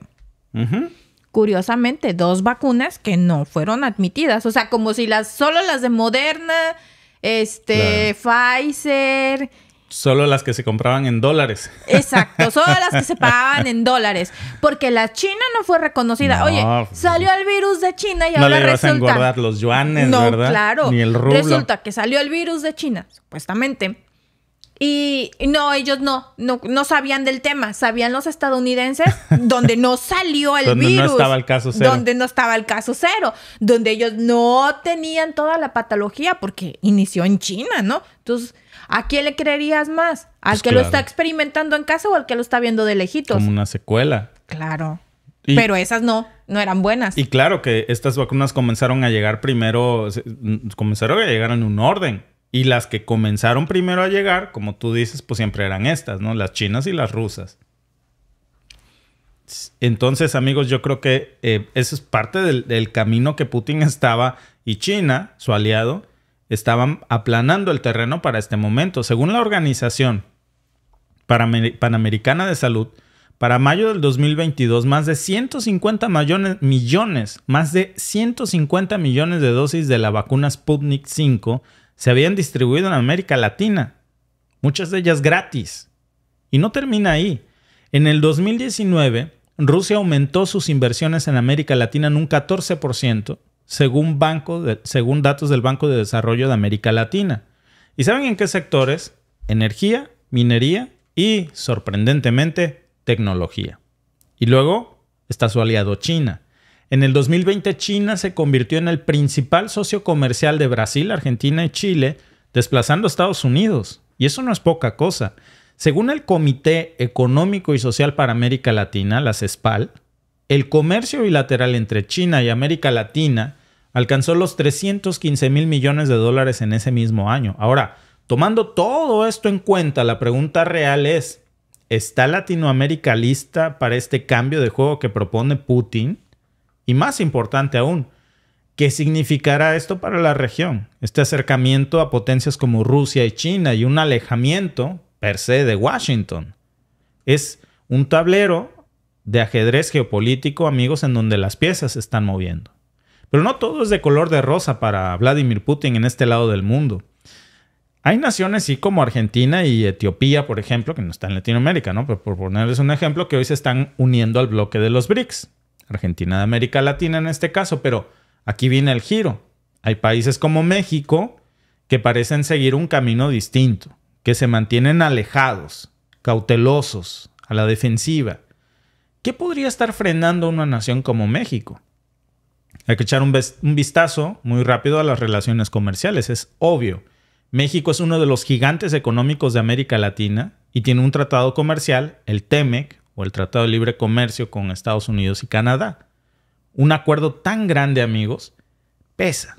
Y eso tal vez es parte de lo que nos mantiene alejados de cualquier negociación con Rusia, porque el TEMEC representa para México un intercambio comercial que supera los 600 mil millones de dólares en el 2022. Así que si Rusia quiere hacer bien su tarea, seguramente tendrá que estar pensando en seducir a México con algo mucho mejor que eso, porque es una cifra que no se puede ignorar fácilmente. Además, con Estados Unidos siendo su vecino principal y su principal socio comercial, la pregunta que por lo visto se hace el presidente es si sería prudente para México alterar ese equilibrio acercándose a Moscú. Y luego hay que considerar la influencia cultural y política, amigos. Aunque Rusia pueda ofrecer oportunidades económicas y políticas, hay lazos culturales e historia compartida con Estados Unidos profundos, pero no para bien. No para bien. Y a pesar de todos estos desafíos, Putin sabe que tiene precisamente por esos lazos una carta muy poderosa con la cual jugar. Un as bajo la manga. ¿Y saben por qué? Hay un par de razones grandes que pueden estar trabajando a su favor en América Latina. Primero, y sin rodeos, ¿cómo va? Hay un notable sentimiento antiamericano en América Latina. ¿Y de dónde viene? Pensemos en la historia reciente. Durante la Guerra Fría, la política exterior de Estados Unidos en América Latina se centró en detener la expansión del comunismo y a veces apoyando regímenes autoritarios. El resultado de eso fue décadas de desconfianza y resentimiento de que nos vieran como su patio trasero, de que nos robaran más de la mitad de nuestro territorio en México. Y el estudio de Barómetro de Américas en el 2018 reveló lo que era obvio que se iba a producir el 56% de los latinoamericanos desaprobaba la política exterior de Estados Unidos hacia su país. 56%. Ahora, parece que no es tanto si consideramos las intervenciones. Les salió hasta barato, considerando lo que hicieron en Chile con sus intervenciones militares, en Nicaragua, o la invasión de Panamá en 1989 todos esos actos dejaron cicatrices que aún persisten en la memoria colectiva. El robo de la mitad de nuestro territorio. Y por otro lado tenemos a Moscú. Básicamente es como si tú viajas a Ucrania y les preguntas qué opinan de Rusia. Pues que les quitó su territorio, ¿no? Porque ellos lo van a defender como suyo. Y nosotros también tenemos nuestra versión, aunque Estados Unidos tenga la suya, ¿verdad?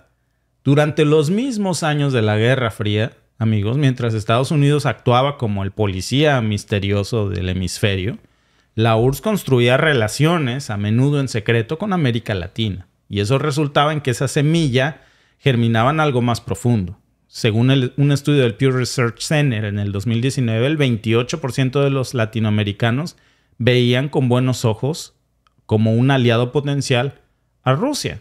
Entonces, por un lado, tenemos décadas de políticas exteriores controvertidas de Estados Unidos que han dejado huella y han lastimado. Y por otro, un acercamiento paulatino, cada vez más constante de Rusia. Putin sabe qué cartas jugar. Y mientras la historia no puede cambiarse, las percepciones, amigos, del presente y el futuro ciertamente pueden moldearse. Ahora la pregunta real es, ¿cómo va a reaccionar América Latina ante este tipo de foros que nos organizan básicamente para América Latina. Eso es algo que hoy estamos viendo en la política mundial actual, porque según Vladimir Putin, América Latina está destinada, así lo dijo en su discurso, a desempeñar un papel protagónico. Y si observamos esta situación, no deberíamos de sorprendernos de que lo diga, porque los países de América Latina muestran eh, ese resentimiento progresivo de un sistema multipolar, eh, ese acercamiento al sistema multipolar que Putin propone, que no se ve, Alba, con malos ojos básicamente, y a los que, aunque nuestros gobiernos mantengan ese recelo, seamos sinceros, la población muchas veces piensa diferente. Sí, totalmente. Muchas gracias a nuestro amigo Hay que discernir por tu superchat. Y dice, si gana ley ya dijo que no entrarían al BRICS, al menos durante sus cuatro años. Si gana Massa, que es hombre del foro de Davos, entrarían casi de inmediato. Pues sí, mi ley dijo que está alineado con el Fondo Monetario Internacional, o sea, con Estados Unidos. y dice que él no sea... Dijo que... Con, con Israel, que no sé qué tiene que ver. Sí, no, dijo, yo no me llevo con comunistas. Mi alianza geopolítica, geopolítica es Estados Unidos e Israel. No sé qué tiene que ver Israel en eso, ¿verdad? Pero... Pues lo hubiera dicho, el Fondo Monetario Internacional. Y ya. Pues yo francamente pienso que no puede acabar por buen camino seguir en esa línea. O sea, yo pienso que Argentina sí necesita dar un golpe en la mesa porque tienen una inflación rampante que está fuera de control y no podemos pensar que las cosas van a ser diferentes si se sigue haciendo lo mismo. Claro. También muchas gracias a nuestro amigo Luis Gustavo Galván por tu super chat, amigo. Y a ver, es que... Fíjate, Alba, mientras lo lees, déjame, déjame decirte un dato adicional sobre esto. El, el elefante en la habitación, ¿no? Sí, que no podemos ignorar. Putin señaló a los países de los mil millones de oro, refiriéndose a los que explotan y abusan de su posición tecnológica y financiera a nivel mundial. ¿Les suena familiar? Putin hace un llamado a la equidad y a la justicia en las relaciones económicas internacionales y curiosamente los datos respaldan ese optimismo sobre su relación entre Rusia y América Latina. En los últimos cinco años, el comercio entre Rusia y América Latina ha superado el 25%. Y un dato adicional, Rusia propone una transición al uso de monedas nacionales en operaciones financieras. Un dato interesante.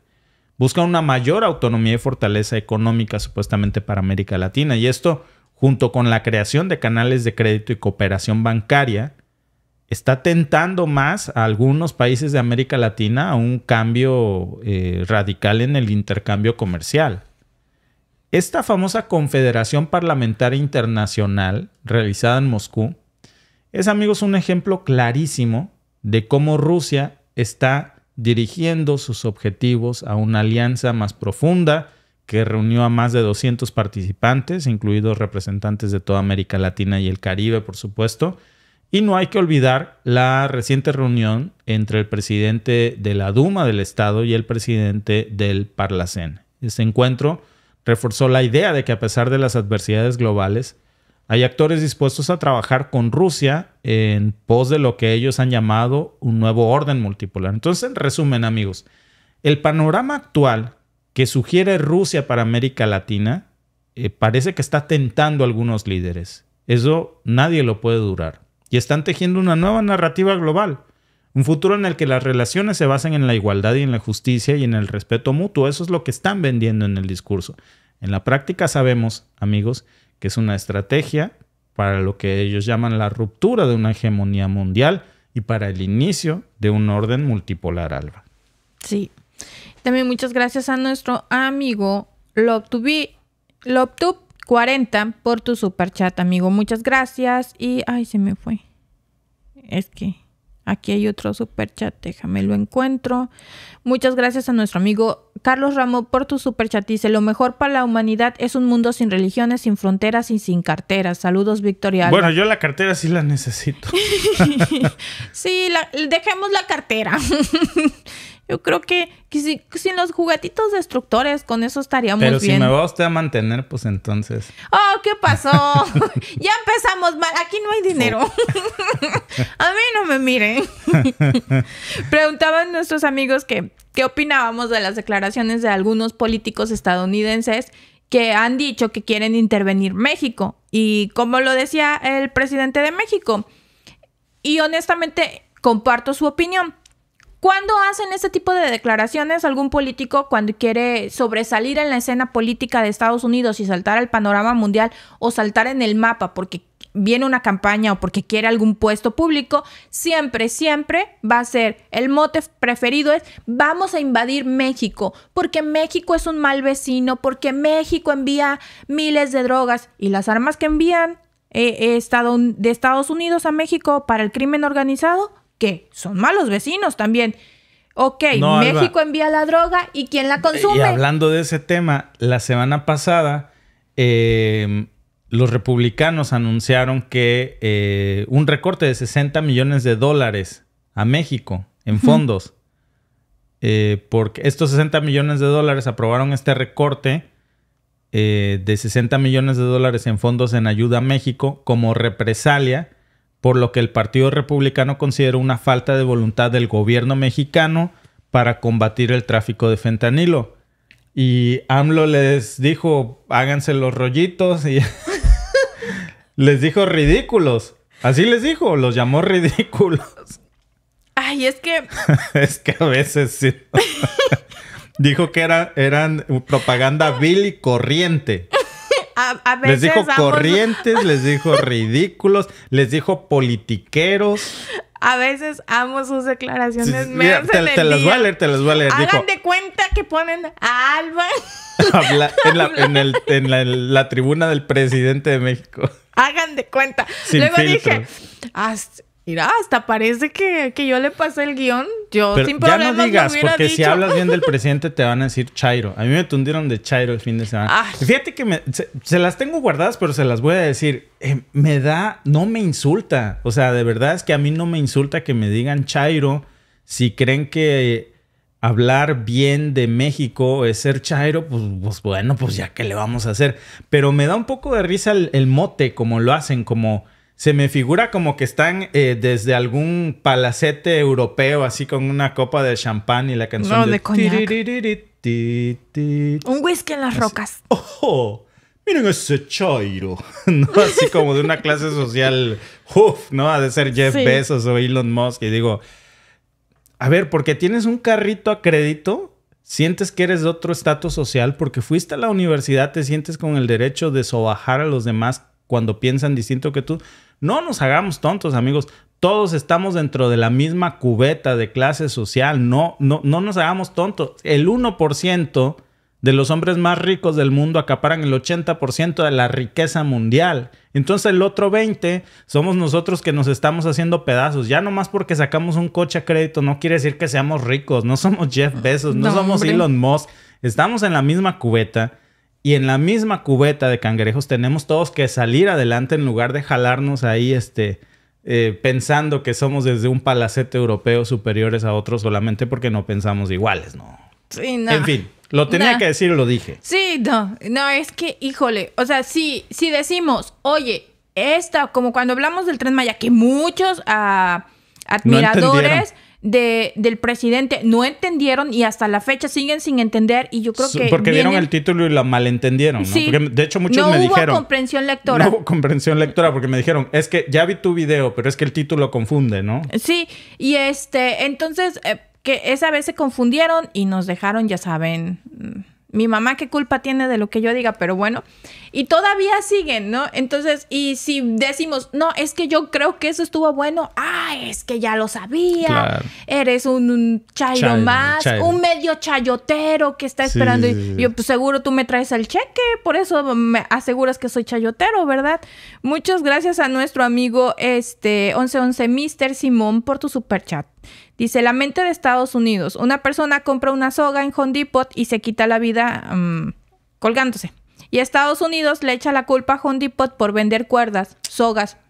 Sí, es exactamente lo que está pasando en el problema con, con las eh, sustancias ilegales que están Te iba a leer la declaración. aquí la tengo. dijo, ¿cómo hay, elecciones en, como hay elecciones en Estados Unidos, esto dijo el presidente, como hay elecciones en Estados Unidos, los partidos, los candidatos o precandidatos están utilizando estos asuntos delicados lamentables del uso y los daños que causa el fentanilo, así como el tema migratorio con propósitos politiqueros. Es una propaganda vil y corriente. No hay que tomarlos en serio. es pura publicidad para tratar de engañar a los ciudadanos estadounidenses.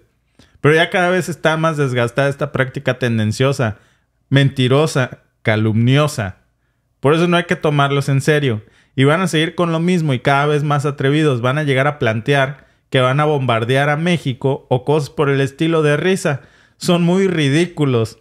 Lo que en política, y es un consejo respetuoso, lo que no se debe de hacer es en política es el ridículo. Pues la verdad sí.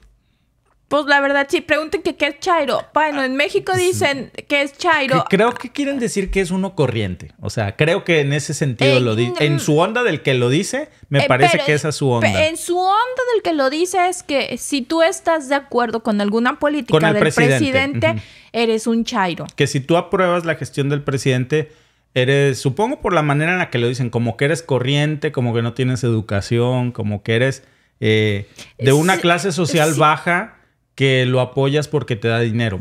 Eso, que- eso Ajá, creo, como que... eh, lo utilizan así, como desde un algún mote. palacete europeo, ¿no? Lo, lo utilizan como un mote despectivo. Sí. Así como de, no, no, no, tú y yo no somos iguales porque yo no soy Chairo. Soy Fifi. Soy Fifi y, y O sea, utilizan rico. sí, y utilizan la palabra comunista como Mm. decir buenos días y no tienen ni la menor idea de lo que es ser comunismo ni nada. Utilizan muchas palabras que no saben el significado, pero ellos son otra clase social, ya saben, acá con su coñac en las rocas y no whisky, whisky. Sí, ya sí, me sí, salió lo. No, no, pues es que Desde no. algún yate. Sí, como me en las decía, costas, eh. como me decía alguien en un video que me lo quiso decir como algo despectivo. No me pareció despectivo, al contrario, ojalá. Que me dijo, es que hoy ver tus videos es como escuchar a la señora del mercado. Ojalá fuera la señora del mercado y tuviera yo un puesto en, en el mercado, amigo. Tendría un negocio que me permitiría sostenerme también. Así que ser la señora del mercado no es un insulto, es un honor. Mis respetos. Sí, yo creo que lo que la gente se tiene que preguntar es por qué. Y alguien también decía en el video. No mientas, el, el, este, la gran mayoría de los mexicanos no aprobamos eh, la gestión de López Obrador, ni estamos con él. no, no. Eh, bueno, le voy a poner un ping ahí a eso. Y nos vemos en las próximas elecciones. Vamos a ver si la diferencia es cerrada o abismal. Ahí va a estar la diferencia. Alba, Cambiando de tema, porque estos temas luego caldean los ánimos. No caigan en estafas, ¿eh? Ni de estas estafas de, de- Telegram que luego digan que son criptomonedas, que soy yo o Alba, pero que vendiéndoles criptomonedas. Esas son estafas. eh, pero hay otras estafas que son todavía un poco más refinadas y literalmente te vacían todo lo que tengas en menos de un minuto si cometes el error de creerles. Pero de eso nos va a hablar Alba en el siguiente tema. Ay, Ay. perdón, Alba. un timbre, una vibración y de repente, ¡pum! Ahí está, una llamada entrante de un número desconocido. Todos hemos estado allí, en ese incómodo momento donde la curiosidad nos dice que contestemos, pero la intuición nos sugiere que mm, no la tomemos, que es una de esas tantas llamadas molestas que recibimos. De esos tipo, Good morning, sir. I'm calling to you from Canada, the Revenue Agency. Sí, de esas. De o- ese tipo. o de- Seguro ¿Cuál, que es, sí. cuál es la otra? La de que te, of- ah, que te ofrecen un paquete de internet. ¿Cómo te, que te lo A ver si ofrecen? no nos bajan aquí el video. Así, igualito, igualito, amigos. Aquí es bien común. Como que un día sí y otro también te llaman. Y pues son las llamadas este, de spam. Esas son super interrupciones no deseadas que se han infiltrado en nuestros día a día, pasando de ser una mera molestia a una preocupación y una invasión a nuestra privacidad. ¿Cuántas veces han rechazado llamadas de números desconocidos en una semana y en un mes? Las cifras al respecto, amigos, son asombrosas. A nivel global, se identificaron 37.8 mil millones de llamadas spam o de scammers o de estafadores solo en el 2021. Con esa cifra, cada persona en el planeta estaría recibiendo al menos 4 a 5 llamadas no deseadas al año. Y muchos no tienen celular, así que nada más con eso para que nos tengamos una idea del impacto de esto. Y aquí es donde se pone más intrigante. Algunos países sufren más que otros. Por ejemplo, Brasil lidera esta lista no tan envidiable. Aquí el ciudadano promedio recibe un asombroso promedio de 32.9 llamadas de spam o estafadores al mes. Eso es más de una llamada por día. Pero ¿qué pasa con sus vecinos? Bueno, Perú, las cifras no son mucho más alentadoras, con millones de llamadas no deseadas registradas todos los días. Y si cruzamos el océano, también pasa lo mismo. Es más, algunos informes sugieren que más del 80% de los usuarios de teléfono han sido objeto de estas invasiones telefónicas en algún momento. Se están preguntando cómo es que estas personas llegan a nosotros, cómo es posible que alguien en un rincón del mundo tenga acceso a nuestros números de teléfono. Pues la respuesta se encuentra en la era digital y la falta de privacidad de datos. Cada vez que descargamos una aplicación, cuando realizamos una compra en línea, cuando llenamos formularios, nuestros datos se convierten en un bien comercial. Esos datos son vendidos, compartidos y distribuidos y a menudo terminan en manos de los spammers y estafadores. Ahora les voy a contar una historia que pone en relieve la audacia de estos spammers y estafadores. En la India, un solo individuo fue capaz de hacer 202 millones de llamadas spam en un año. Solo uno. Mm. Imagínate. Este spammer en particular operaba con varias líneas telefónicas y autodiscadores que podían hacer miles de llamadas simultáneamente. Y a pesar de que su operación fue eventualmente desmantelada, esta historia ilustra el nivel de sofisticación y persistencia de estos actores maliciosos. Ahora bien, no todas las llamadas desconocidas es necesariamente malintencionada. Pero la prevalencia y la persistencia de estas llamadas no deseadas nos exige ser cautos y de estar alertas. Debemos cuestionarnos dónde queda nuestra privacidad en un mundo donde nuestra información se comercializa abierta y descaradamente. La tecnología, ese instrumento maravilloso que prometía simplificar nuestras vidas y hacernos más conectados que nunca, pues lo ha hecho, pero ¿saben qué? Como suele ser, en este tipo de casos, los grandes regalos vienen con pequeñas letras en el contrato. El buzón de mensajes inundados, las notificaciones constantes y el temor perpetuo de perder nuestra información privada son solo algunas de las cláusulas no mencionadas en ese pequeño contrato. Recordemos por un momento el pasado, cuando la comunicación se limitaba a cartas, llamadas telefónicas y conversaciones cara a cara. Parecía más simple, pero aquí estamos en una época donde los teléfonos inteligentes nos han convertido en, seres perpetuamente conectados. Un estudio realizado en el 2020 reveló que en promedio las personas pasamos cerca de 3 horas y 15 minutos en nuestros teléfonos cada día. Eso es casi el 14% de nuestras horas que estamos despiertos dedicadas a un dispositivo. Cada vez que deslizamos, hacemos clic o tecleamos, estamos dejando una huella digital. Y no, no me refiero a la grasa de nuestros dedos en la pantalla. Estamos hablando de datos, intereses, preferencias y en algunos casos hasta nuestra ubicación en tiempo real. Y por supuesto, estas huellas son valiosas.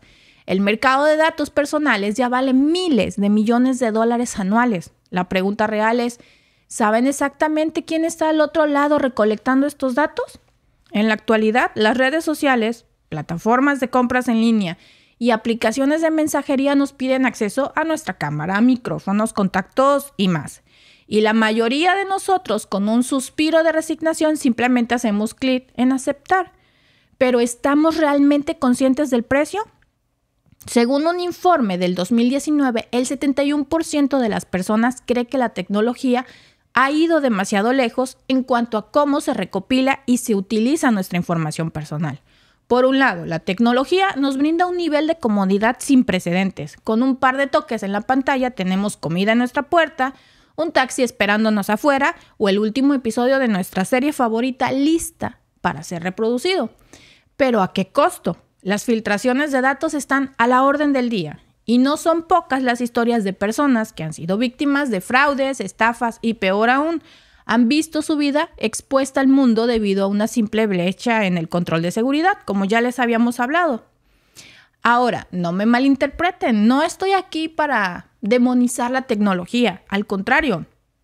ha permitido enormes avances médicos, acercado a familias y ha ofrecido oportunidades educativas a quienes antes no las tenían.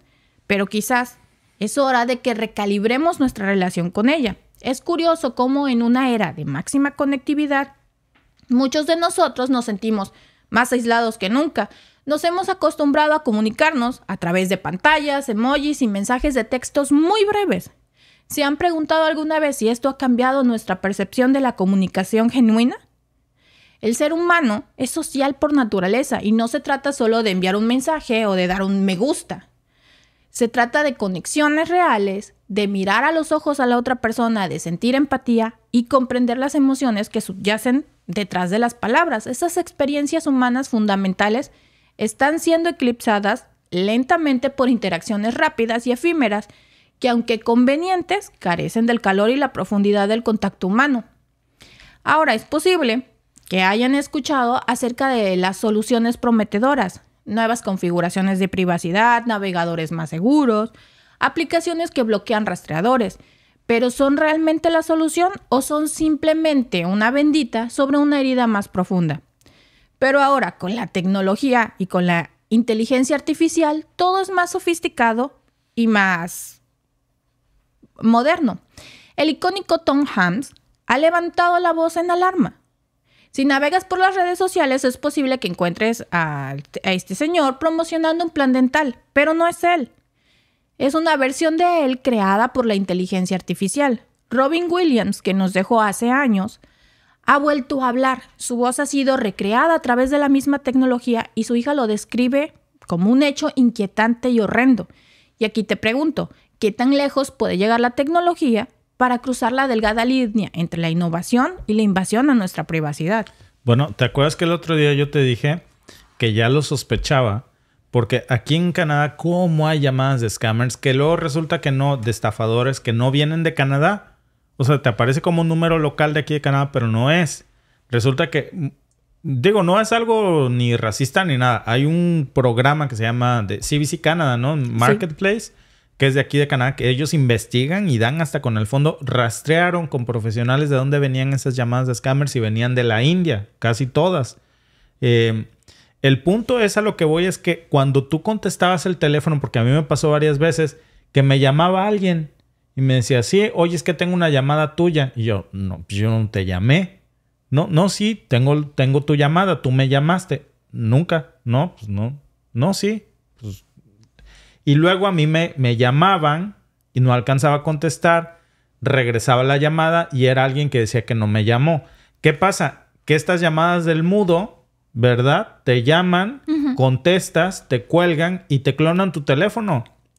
Luego, desde aquí de Canadá, incluso hubo una nota en donde te llamaban de la OPP, del Departamento de Policía, y te sacaban tu número de seguridad social y te vaciaban todo y cuando tú regresabas la llamada, o sea, veías que era el número de la OPP, realmente, o sea, sí era el número de la policía, pero lo clonaban, o sea, usaban como una especie de máscara, ¿no? Y, sí. y, y cómo, cómo pensabas tú que no? O sea, realmente la llamada venía de ahí. Ahora con estas cosas de la inteligencia artificial, incluso te acuerdas que vimos un programa donde tú puedes clonar tu voz, incluso en el banco este, aquí en Canadá funciona que graban tu voz para reconocimiento de si eres tú o no. Sí. Y con eso puedes acceder a tu cuenta. Sí, con el, con la voz. Entonces, cuando tú, tú llamas al banco, ya ven que usualmente luego te hacen preguntas de seguridad. Bueno, solo te empiezan a, platicar contigo. ¿Y cómo estuvo tu día? Y que no sé qué, que no sé cuándo. Y, ah, sí, ya tenemos acceso a tu cuenta. Por el por el reconocimiento de voz, este, lo hacen así. Ya llamas por teléfono y te hacen algunas preguntas de seguridad, pero solo es para que tú estés hablando y ellos, el sistema pueda reconocer tu voz. Y cuando sacas la cuenta, firmas y, y aceptas el reconocimiento de voz. Entonces ya, ya no tienes para dónde hacerte. Claro, o falsifican tu identidad o falsifican identidades ficticias. Cuando, cuando es por, por esto, te digo, porque clonan tus teléfonos y por redes sociales que ya ni se diga, ¿no? O sea, siempre resulta que te, te escribe un muchachón y dices, uy, ¿no? Ay, pero ¿por qué no? no sea envidioso. Si tiene papeles, muchachos, y no les Algo tiene uno que ofrecer. Oigan a esta. O una muchachona, ¿no? Pues claro, algo le tienes que ofrecer, algo tienes que ofrecerle, o sea, tienes Y- que saber. sí, y, y resulta que, como decía aquí alguien, que ya sé quién es, no voy a decir porque pues eh, nos dijo, no digan quién soy, ¿no? Y que ya le pasó así, que le escribió una muchacha muy guapetona y luego resulta que no- ni, ni guapetona ni muchacha. Era una persona de Bangladesh que le bajó sus datos de por allá y al último lo estaba chantajeando, ¿no? Entonces hay que tener muchísimo cuidado con esto. Claro, porque están utilizando la, la inteligencia artificial también para clonar las voces y puede ser que tú la escuches como algún familiar tuyo y caigas. Entonces, en esos casos siempre tengan como con su familia alguna palabra, alguna algo que sea de seguridad para ustedes, que ustedes sepan que sí son. Y déjenme decirles el colmo de los colmos, ¿ok? Porque dice por aquí nuestra amiga Sofía Smith, no es bueno burlarse de los acentos o razas, señor. Tienes razón, pero es que te voy a decir por qué, porque es chiste local. Y si no te lo explico, no vas a entender a lo que me refiero. Es más que sabido aquí en Canadá que hay una proliferación de estafadores eh, que llaman de, de call centers de la India. Digo, ya hasta hay un documental de CBC Canadá que fue hasta allá el reportero, ¿verdad? Y los, este, y los confrontó. Peligroso, afuera del call center. Y dijo, oye, es que tú estás estafando gente y no sé qué. Y rastrearon las llamadas. Casi todo desconfía ya uno, la verdad, ¿no? Sí. Cuando oye ese acento eh, de, de- de inglés de alguien que evidentemente es como de la India. Tenemos muchos amigos de la India de verdad eh, y los estimamos A ellos mucho. también les llaman. A ellos también los llaman. Pero bueno, eh, te, te digo porque es chiste local y si no te lo explico no vas a entender. Gracias por decirme, Sofía Smith. Resulta que en una de esas eh, ocasiones nos llama, iba con Alba en el carro, eh, tenía en el altavoz, o sea, en el, en, el, en el carro, conectado al carro el teléfono, llaman, contesto, está en el altavoz del teléfono, ¿verdad? Y este, y así, o sea, literal, ¿eh? así con las, con un inglés cortado, ¿no? Así como dicen aquí roto. Good morning, sir. I'm calling to you from Canada Revenue Agency. How are you today?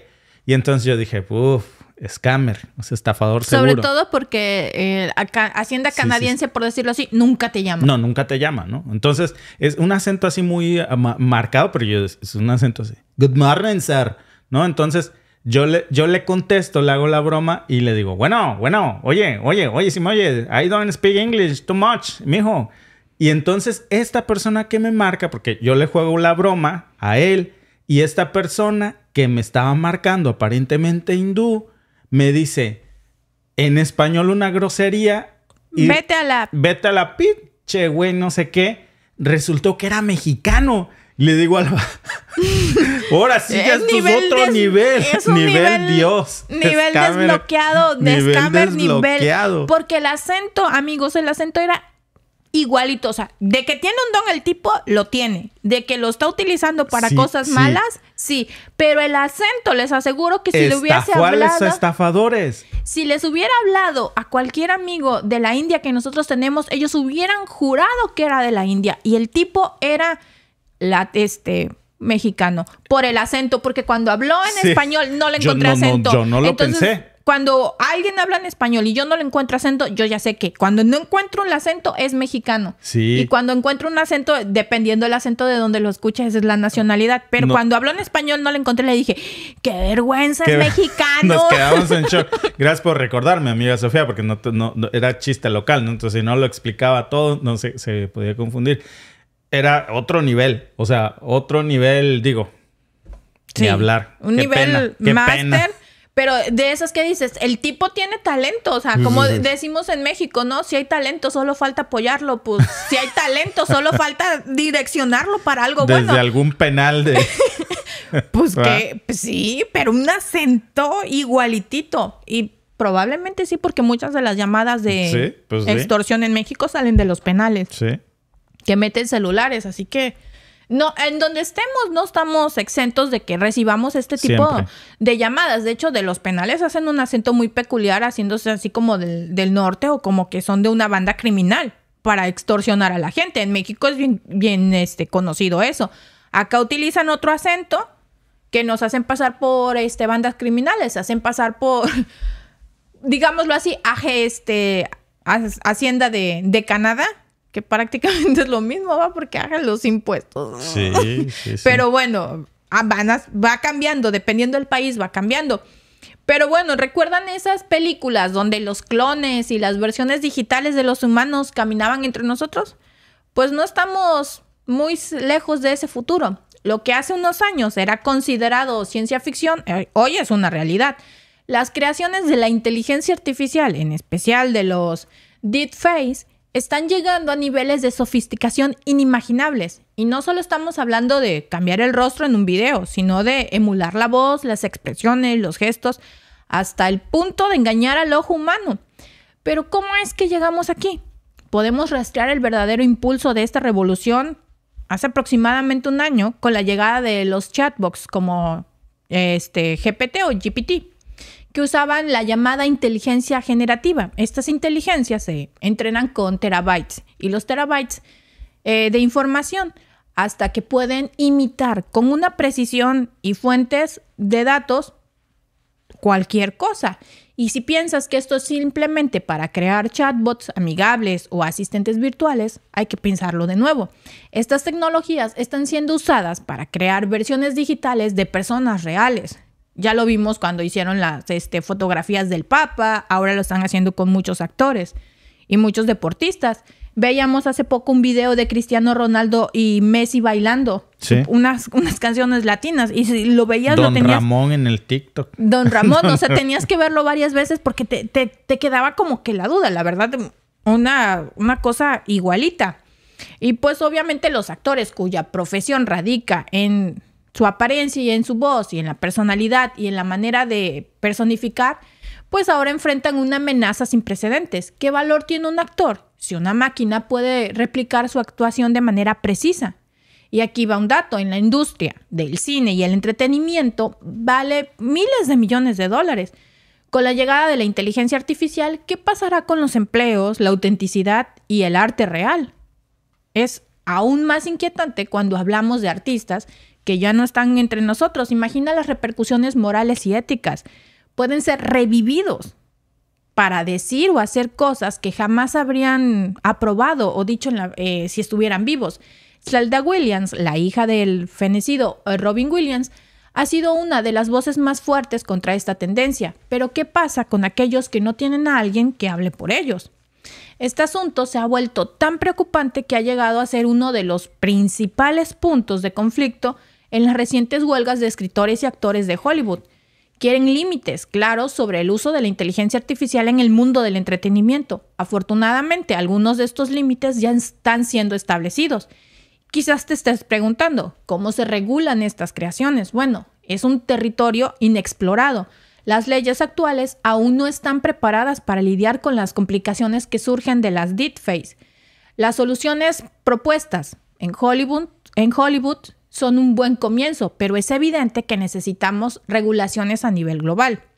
Si has estado al día con las últimas tendencias digitales, es probable que hayas escuchado acerca de soluciones prometedoras, nuevas configuraciones de privacidad, navegadores más seguros, aplicaciones que, que bloquean rastreadores. La tecnología avanza a pasos agigantados cada vez que encendemos el teléfono o navegamos por Internet, estamos dejando rastros digitales que las empresas pueden usar para conocer más sobre nosotros, sobre nuestros gustos, hábitos y sobre nuestras preferencias. ¿Alguna vez les ha pasado que hablan de un producto y de repente, ¡pum!, ven un anuncio del mismo producto en alguna red social? Y no, no es magia, es tecnología. Pero la pregunta es, ¿a qué precio? Para protegernos, han surgido navegadores que prometen no rastrear nuestra actividad aplicaciones que bloquean la publicidad y configuraciones de privacidad más rigurosas, pero ¿es suficiente? A medida que las herramientas de privacidad avanzan, perdón, también la, lo hacen las de rastreo. es un juego del gato y el ratón en el que pareciera que nunca podemos ganar.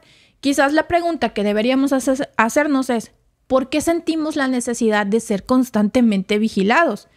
En esta era digital, la privacidad se ha convertido en un bien preciado, pero también en algo inconscientemente que hemos estado dispuestos a sacrificar por conveniencia. ¿Prefieres rapidez o privacidad al hacer una búsqueda en línea? ¿Comodidad o control al usar aplicaciones que piden acceso a nuestros datos? Esta es una herida más profunda a la que me refiero. No se trata solo de la tecnología y sus avances, sino de cómo hemos normalizado la idea de que para estar conectados debemos estar dispuestos a compartir voluntaria o involuntariamente partes de nuestra vida y eso tiene un impacto no solo en nuestra privacidad, sino en nuestro bienestar mental. Vivimos en un mundo en donde la validación digital puede tener un peso real en nuestra autoestima y en este proceso compartimos más y más de nosotros, de nosotros mismos, a menudo sin pensar en las consecuencias. Hay estudios que muestran cómo la sobreexposición en las redes sociales puede estar relacionada con problemas de la autoestima y la salud mental. Y aquí es donde se conectan la privacidad y el bienestar mental. Porque en nuestra búsqueda de reconocimiento y conexión digital, a menudo dejamos de lado la protección de nuestra propia privacidad. Por supuesto, hay beneficios en la era digital. La capacidad de conectarte, de aprender y de trabajar y de crear cosas a través de plataformas digitales como esta y como muchas otras. Pero como todo, debe haber un equilibrio y es aquí donde las soluciones de privacidad entran en juego. No están diseñadas solo para proteger nuestra información, sino también para darnos el control y la tranquilidad de que estamos protegidos. Sin embargo, es importante que entendamos que la tecnología por sí sola no es la respuesta. No puedes simplemente descargar una aplicación y esperar que todo se solucione. En un mundo que cada día y que cada clic y en, búsquedas y cada me gusta se registra, analiza y a menudo se vende al mejor postor, la privacidad es una preocupación creciente. La información personal se ha convertido en una moneda que cada vez que accedemos a un servicio gratuito en línea, a menudo pagamos con nuestros datos. Entonces, ¿dónde queda nuestra privacidad en este panorama digital? En realidad, en muchas ocasiones queda relegada al segundo plano mientras las empresas se benefician de nuestros hábitos y obviamente nuestras preferencias. Pero no todo es tan sombrío. A medida que crece la conciencia sobre la importancia y la privacidad, también aumenta el interés de protegerla. Y aquí te voy a dar algunos consejos para protegerte y evitar ser víctima de estafas en un vasto mundo digital. Primero hay que comprender nuestros derechos en cuanto a privacidad. Investiga, lee sobre las últimas estafas y tácticas de los ciberdelincuentes que están utilizando, como lo que te acabo de comentar y como lo que ya te hemos comentado en otros videos. Asegúrate de que tus contraseñas sean complejas. Utiliza una combinación de letras, números y símbolos. No uses la misma contraseña para diferentes cuentas. Considera el uso de algún administrador de contraseñas. Muchos servicios ofrecen ahora una capa adicional de seguridad, requiriendo no solo una contraseña, sino un segundo método para verificar tu identidad. Háganlo. Los estafadores pueden usar información que compartes para intentar engañarte, haciéndote creer que realmente te conocen. Muchas aplicaciones solicitan acceso a información personal que no es necesaria para su funcionamiento. Es importante que revises y revoques los permisos innecesarios. Las actualizaciones a menudo contienen parches de seguridad para vulnerabilidades recién descubiertas. Una VPN puede encriptar tu conexión a Internet, haciéndolo más difícil para los intrusos, para que ellos no vean qué estás haciendo. Pero si no puedes hacerlo, hay otras alternativas que podemos hacer. Muchas estafas comienzan con un mensaje que parece ser de una persona o una empresa de confianza, pero no lo son. Siempre es mejor que verifiques directamente con la fuente antes de proporcionar información personal. Siempre piensa dos veces antes de compartir detalles como tu dirección, tu número de teléfono, tu fecha de nacimiento en las redes sociales y otros servicios en línea que a menudo tienen configuraciones que determinan quién puede ver tu información y qué datos se comparten con terceros. En este mundo digital, en constante cambio, es esencial que estemos proactivos en la protección de nuestra información personal. La privacidad puede ser una rareza en la era digital, pero con pasos cuidadosos y considerados todavía está al alcance. Recuerda que si bien es posible que no podamos controlar completamente cómo las empresas utilizan nuestra información, siempre tenemos el control sobre cuánto compartimos y cómo protegemos esos datos. No pongan todo en las redes sociales, no pongan Nunca pongan su dirección, si van a subir una foto a alguna red social, sean muy cuidadosos de que no salga su número de casa, que no se vea por ahí como que entre qué calles y qué calles. Cubran las placas siempre de su automóvil. Y si no es automóvil, cubran las placas de los automóviles de por ahí. Entonces siempre hay que cuidar mucho todo, porque eh, de verdad se basan de lo más mínimo que puedan encontrar para hacerte creer que te conocen que saben dónde vives y te pueden bajar muchísimo dinero. El 80% de la gente que recibe llamadas de extorsión es víctima de extorsiones. Siempre, siempre. Lamentablemente esto va en ascenso. Y bueno, finalmente amigos, si me permiten, eh, para, para terminar antes de que sean las 11 de la noche, no creo, pero déjenme decirles un dato adicional. Eh, estas revelaciones del director de la CIA, que, que fueron qué bruto, pero déjenme se las comento. ¿Necesita realmente Estados Unidos que el mundo esté en guerra para sostener su economía? ¿Podría ser que detrás de toda esta retórica de guerra haya intereses económicos que guíen las decisiones de las grandes potencias? Pues miren, por si a alguien le quedaba todavía alguna pequeña duda, resulta que un ex analista de la CIA, Larry Johnson, realizó una declaración que dejó a muchos bastante perplejos por, por el cinismo con el que las hizo. Miren lo que dijo. Es vital para Estados Unidos estar constantemente en guerra. Su economía depende de ello. Nada que el mundo no sospechara antes, ¿verdad? Pero el cinismo de que un hombre como Larry Johnson lo diga ya es demasiado. De hecho, amigos, si observamos de cerca, Estados Unidos se ha involucrado en conflictos bélicos de forma recurrente. Johnson dijo, estamos involucrados en conflictos bélicos constantemente. En eso nos hemos convertido. Y aquí viene el dato duro. Desde 1991, Estados Unidos, desde ese mismo año, ha estado involucrado, ¿saben en cuántos conflictos? 215 intervenciones militares. 215. ¿Quién hubiera pensado que alguien como Larry Johnson lo pondría en palabras tan simples y directas de un exagente de la CIA? No es tan sorprendente, es un secreto a voces que Estados Unidos se ha caracterizado por estar en el ojo del huracán en muchos conflictos bélicos, pero oírlo de palabras de Johnson, uno no puede evitar preguntarse hasta qué punto este conflicto armado que estamos viendo ha sido beneficioso para Washington. Dato tras dato, la historia de intervenciones de Estados Unidos, amigos, son bastante extensos y nos dicen algo. Miren, desde 1991, les decía, más de 215 intervenciones militares. Pero no nos vamos a quedar solo en ese número. Miren lo que hay detrás de eso. Irak, en el 2003. La versión oficial, desarmar a Irak de armas de destrucción masiva y terminar con el régimen de Saddam Hussein y liberar al pueblo iraquí. El resultado, no se encontraron armas de destrucción masiva, pero lo que sí se encontraron fue muchos muertos por el conflicto y muchísimo petróleo.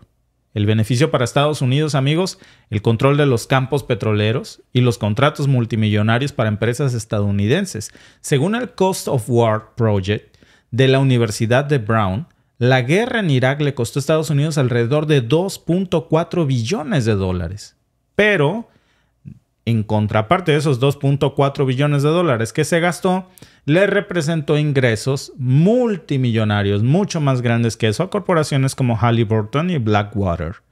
Luego está Afganistán en el 2001. La versión oficial es que fue para capturar a Osama Bin Laden y para desmantelar a Al Qaeda.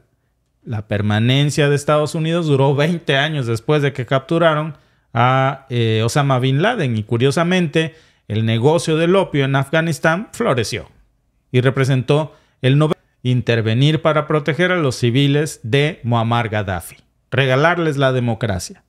La realidad detrás de eso, la nación con mayores reservas de petróleo en África resultó sumida en un caos y Estados Unidos y sus grandes petroleros occidentales aseguraron del control del el petróleo. Si miramos las cifras, amigos, según un informe del Congressional Research Service, Estados Unidos gastó cerca de 1.1 billones de dólares tan solo en operaciones militares desde el 2001. Eso parece mucho dinero, pero ¿cuánto de ese dinero regresó a Estados Unidos en forma de recursos naturales y de ventajas estratégicas? Es difícil cuantificarlo, es tanta la riqueza que no se puede llevar una cifra exacta, pero es evidente que hubo un retorno en la inversión de la guerra grandísimo. Las intervenciones militares, lejos de ser simplemente operaciones para llevar la democracia, amigos, parecieron ser más una estrategia para mantener a Estados Unidos en una posición dominante en el tablero global. Y aunque si bien la retórica oficial suele hablar de valores occidentales, de derechos humanos, de democracia, la realidad puede ser más pragmática. Controlar recursos petroleros, asegurar mercados y mantener una influencia geopolítica. Por lo pronto, el secretario general de la OTAN, Jens Stoltenberg, ya ha dicho que si queremos una solución pacífica negociada para Ucrania, debemos primero brindarle apoyo militar. Esa es la única manera, según él. Pero parece un contrasentido, ¿no? Las armas, según Stoltenberg, son el camino para la paz. Ahora, ¿recuerdan cuando mencioné acerca de intereses económicos detrás de las decisiones geopolíticas? Bueno, pues vamos a ver qué revela el juego económico en pleno desarrollo del conflicto en Ucrania. Durante años Rusia fue el principal proveedor de gas para Europa. Pero algo cambió mágicamente. Una ascendencia en los gráficos de la Agencia Internacional de la Energía nos muestra cómo Estados Unidos pasó de ser un país importador de gas natural, importador, compraba gas y de pronto se convirtió después del conflicto en Ucrania en un exportador exitoso. ¿Cuándo pasó exactamente esto y cómo? Bueno, en el 2016. ¿Coincidencia? Pues no. Un dato más, amigos. Cuando estalló el conflicto en Ucrania, Europa decidió dejar de financiar la guerra y dejó de comprar gas y petróleo ruso. ¿Y quién creen que apareció con estas sanciones en esa primera sanción eh, en el escenario? Estados Unidos, que casualmente había decidido transformar su economía para ser un exportador de gas natural. Y en poco tiempo Estados Unidos no solo llenó el vacío que había dejado Rusia, sino que comenzó a dominar el mercado de gas, convirtiéndose básicamente en el principal proveedor de Europa.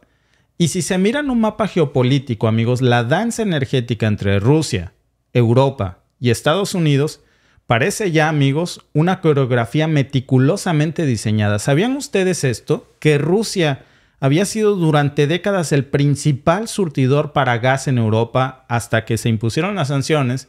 Y claro, eso fortalecía su posición estratégica y económica en el continente, pero ¿Qué sucede si examinamos los gráficos de la Agencia Internacional de la Energía? Nos revelan una curiosa tendencia. Alrededor del 2016, Estados Unidos inició esta transformación sorprendente y pasó de ser un importador, repito, eh, de gas licuado emergente a ser toda una potencia exportadora de gas. Y fíjense en algo más. ¿Qué estaba sucediendo en el 2016 que pasó esto? Europa tenía tensiones con Rusia por el conflicto en Crimea en los años posteriores. Y las decisiones que tomaron los líderes europeos fue imponer las sanciones al gas ruso desde ese momento. Y eso los llevó a reducir en un primer momento las compras de gas y petróleo ruso. Y aquí es donde la trama da un vuelco a favor de Estados Unidos. Justo en ese momento de necesidad energética, ¿quién apareció como salvador de Europa? Washington. ¿Coincidencia? Pues no. Washington había invertido y reestructurado su industria gasífera para ser un exportador de gas natural licuado. Los números no mienten.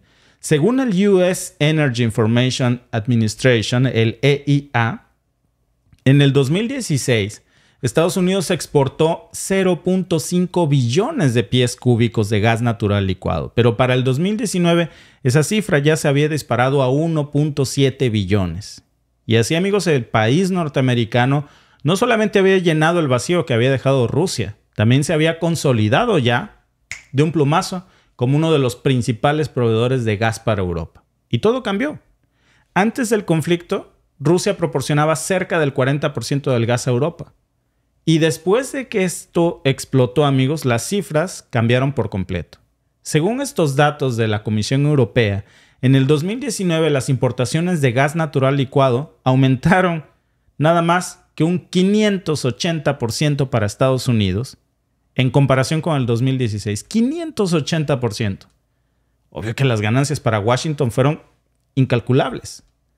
Considerando que el precio promedio del gas natural licuado en el 2019 rondaba en 5 dólares por millón de unidades térmicas británicas, estamos hablando amigos de miles de millones de dólares en ingresos para la Bolsa de Washington. No se puede cuantificar exactamente cuál fue el beneficio del desplazamiento del gas ruso, pero lo que sí es evidente que el conflicto en Ucrania desencadenó un cambio monumental en la dinámica energética. Ahora, ¿Podría Europa haber llenado ese vacío sin recurrir a Estados Unidos?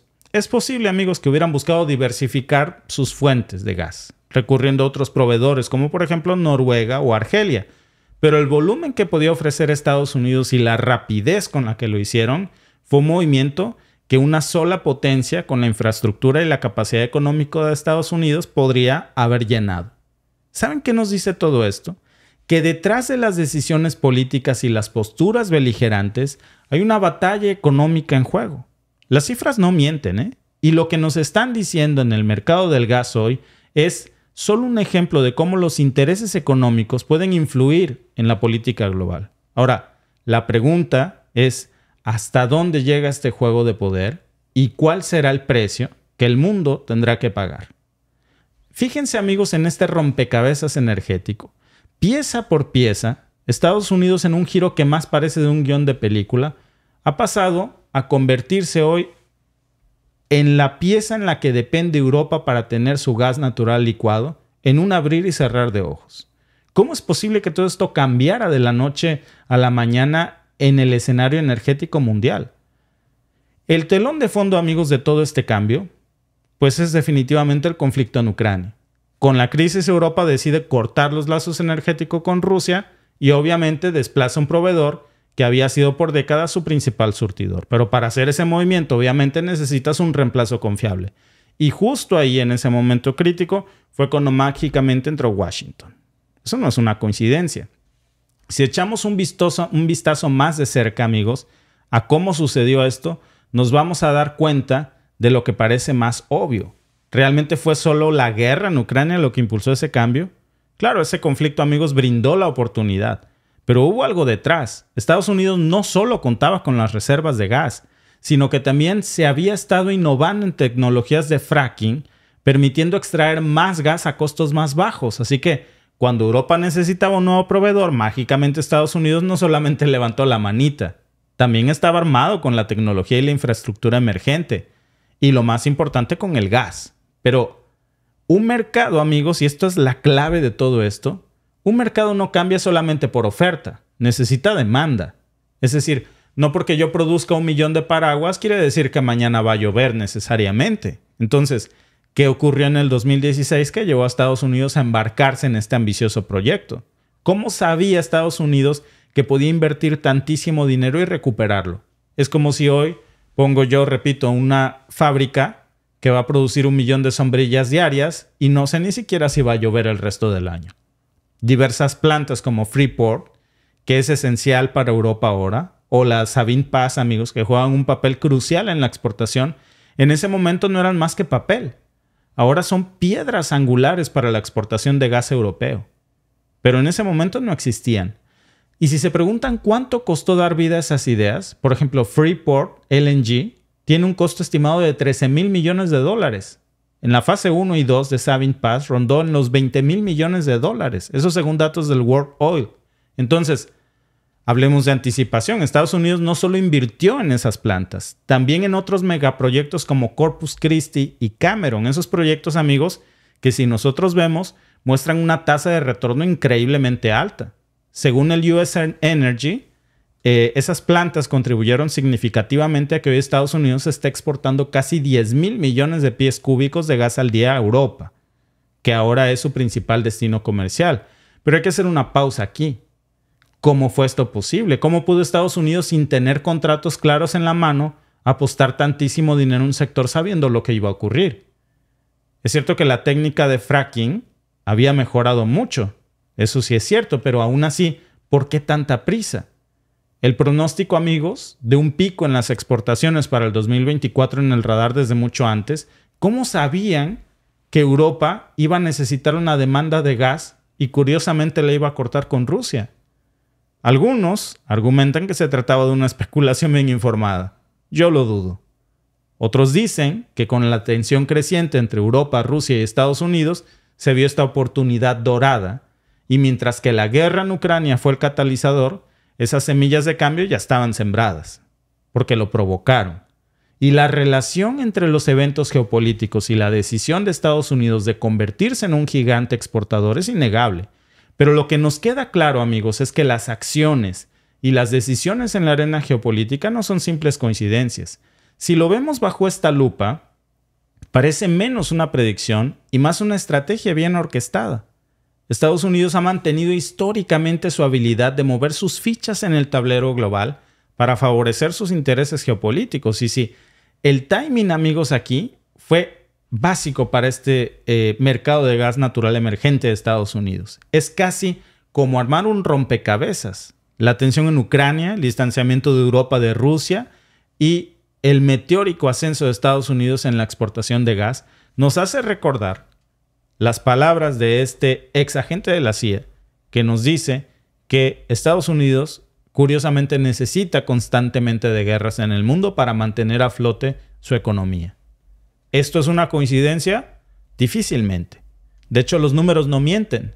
Repito, según el US Energy Information Administration, hubo un aumento del 72% en las exportaciones de gas natural licuado a Estados Unidos entre el 2016 y el 2019. Esa cifra, amigos, es impresionante y no parece que sea una coincidencia, pero ¿saben cuál es la ironía? Que toda esta nueva infraestructura que Estados Unidos ha construido y que ahora le está permitiendo aprovechar esta nueva oportunidad de mercado, está siendo pagada por sus propios aliados, por Europa, a través de los altísimos precios que ahora tienen de gas flaco favor les han hecho. Con esos amigos, ¿para qué quiere Europa enemigos? Un ejemplo, mientras Europa enfrentaba facturas de gas cada vez más elevadas, proyectos de infraestructura de gas en Estados Unidos como el Sabine Pass o el de Freeport avanzaban a pasos agigantados. Eso no es coincidencia.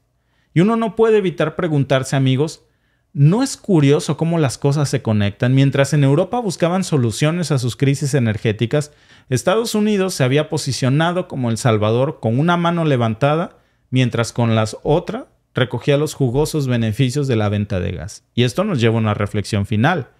Con esos aliados que se benefician tan astutamente de la desgracia europea, ¿realmente necesita Europa buscar adversarios fuera de su círculo de aliados? Y es aquí donde la pregunta se vuelve inevitable. ¿Sabía Europa con antelación de la transformación de Estados Unidos de importador a exportador de gas? ¿Estuvo Europa consciente o inconscientemente alineada con este cambio de juego geopolítico? Miren, antes del conflicto en Ucrania, en el 2021, el mercado del gas natural tenía un comportamiento muy distinto al que vemos hoy. Para comprender esta escala, amigos, Vamos a remontarnos a los precios que Europa estaba pagando en el 2020. Los precios del gas natural, en el punto de referencia europeo del TTF, se cotizaban en promedio de unos 15 euros por megavatio la hora. 15 euros. Pero si avanzamos al 2022, 15 euros era lo que le costaba a la Unión Europea el gas ruso. Pero si avanzamos al 2022, en el que los precios dispararon las alarmas, en ese agosto, el TTF mostró un precio inicial de 145 euros. Y luego no se detuvo ahí. En tan solo semanas vimos cómo ese precio escaló a 200 euros y finalmente llegó a su pico más alto de 300 euros. Imagínense amigos, 300 euros después de que solo estaba a 15 euros. Hagamos una rápida comparación de 15 euros eh, en el 2020 a saltar a 300 euros al 2022 es un aumento de 20 veces. Y en medio de toda esa montaña rusa de precios, Estados Unidos, claro, entró en acción con su flamante infraestructura de gas que ya tenía montada, con su fábrica de sombrillas, sabiendo que iba a llover, y rápidamente se convirtió en el principal proveedor para Europa. La pregunta que resuena es, ¿por qué Europa decide comprar gas a esos precios exorbitantes de Estados Unidos cuando anteriormente lo adquirían en Rusia por precios tan bajos como 15 euros? Después sabemos cómo resultó la historia, por cierto, del eh, gasoducto Nord Stream 2 y no tuvieron otra opción.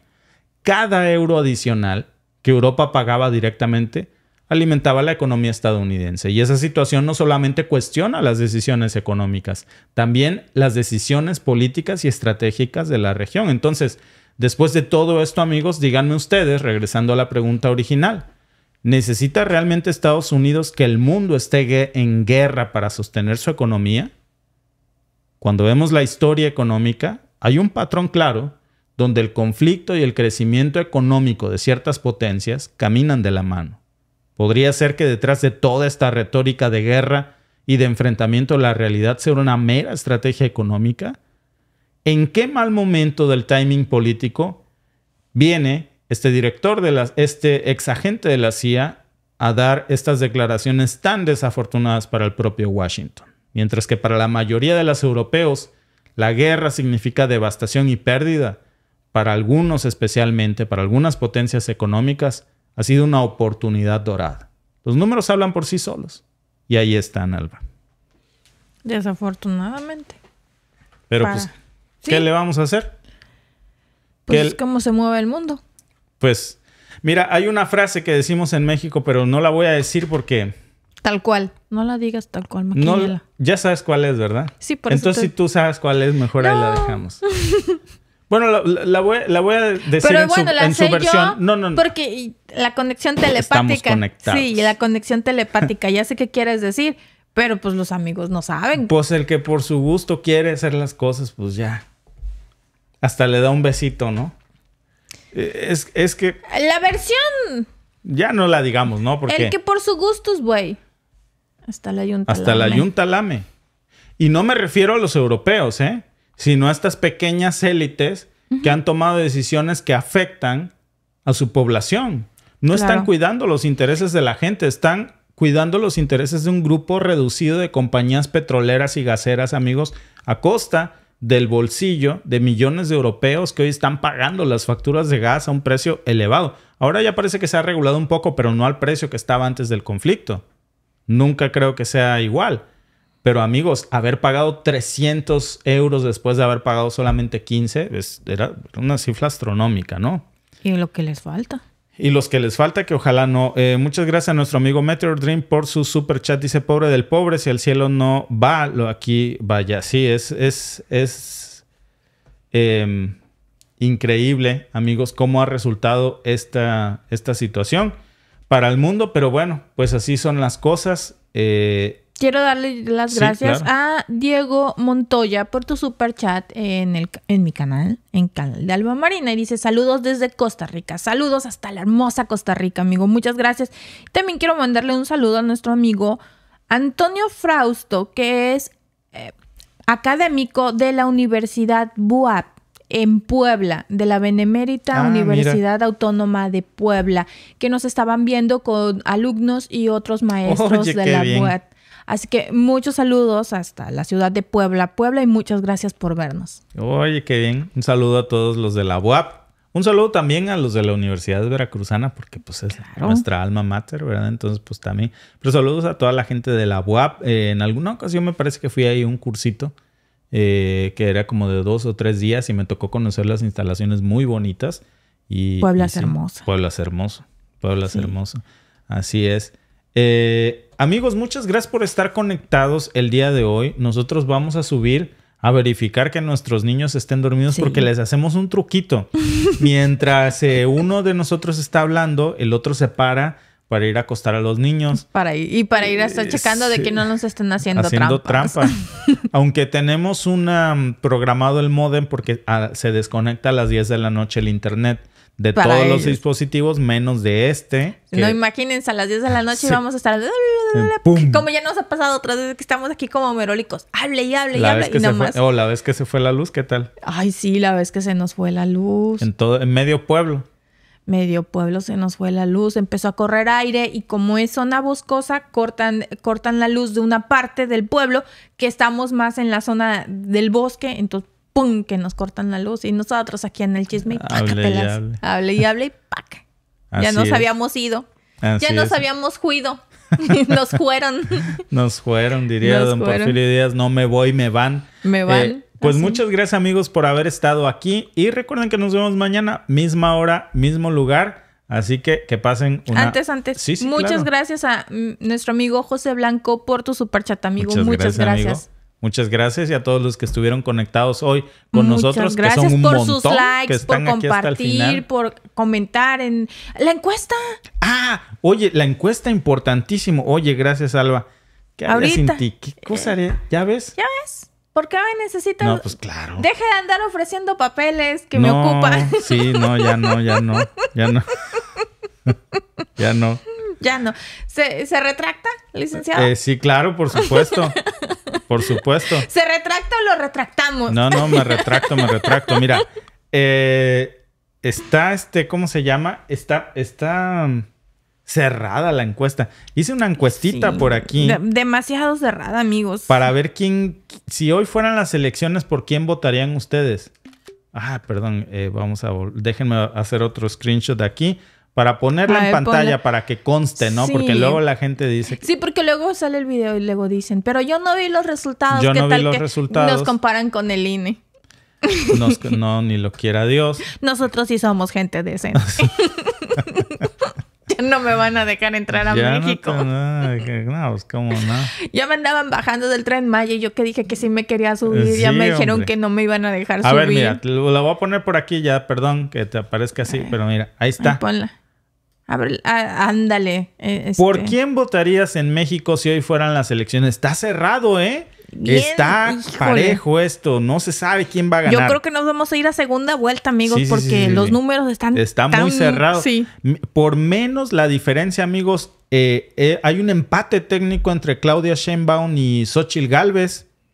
Sí, Eh, segunda ah, vuelta. no, perdón, Alba. Pe- Perdón, No, no, perdón, ¿qué? perdón, perdón, perdón, no. Ponte los No, no, no, no, lentes. no. Perdón, se cancela todo Xochitl. No, eh, perdón. Claudia Sheinbaum 67%, Xochitl Galvez 7%. Perdón, perdón. Perdón. No, se- está, está cerrado entre Claudia Sheinbaum, entre otro ninguno, y Eduardo Verástegui. Eduardo Verástegui. Oye, le ganó, Le ganó. Verástegui a Oye, Xochitl sí. Galvez. No Parpadeé, se me movió el lente y no alcanza a ver. ¿Y si le dieron el registro a, a Verástegui o No sigue? sé, pero ya tiene más votos. Ya tiene más votos que la señora. Y creo que todavía ni tiene el registro. Imagínense si le da el registro. Si le anda ganando con más. Bueno, Alba. Sacó más votos, otros o ninguno. Y iba yo a decir algo, pero es horario familiar. Está cañón. Está Nomás voy a decir. cañón. Está cañón. Señora Galvez. Pero mira, Haga mejor su trabajo porque mira, do, si, si- dos a si uno. juntamos otros no, o mira, ningunos con. Eduardo Verástegui y con Xochitl Galvez, No, saca, saca a la doctora Sheinbaum y solo deja a lo- a los otros. Señora Xochitl y Eduardo Verástegui. van hay, el último. hay que hacer mejor esa campaña porque ningún candidato está dos a uno con ustedes. Eso está cañón. Eso está cañón, ¿no, Alba? Ningún candidato les gana. O sea, si solo fueran ustedes tres, sería el presidente ningún si candidato. solo fuera ella sola, pierde. si fuera candidata única, pierde. Ay, perdón, perdón, pero es que sí es cierto Sí. viéndolo así. Si Pero- fuera sola, pierde. No es bueno burlarse, Alba. No me burlo, No me burlo. No, yo por eso nunca sería candidata, porque andaría peor, pero bueno. Pero no. les voy a poner aquí una foto Pero para ella que ya se animen. lista. Porque este, yo creo que es importante que sirvan Ay. estos espacios para. Pues también, ¿por qué no? Para que si este.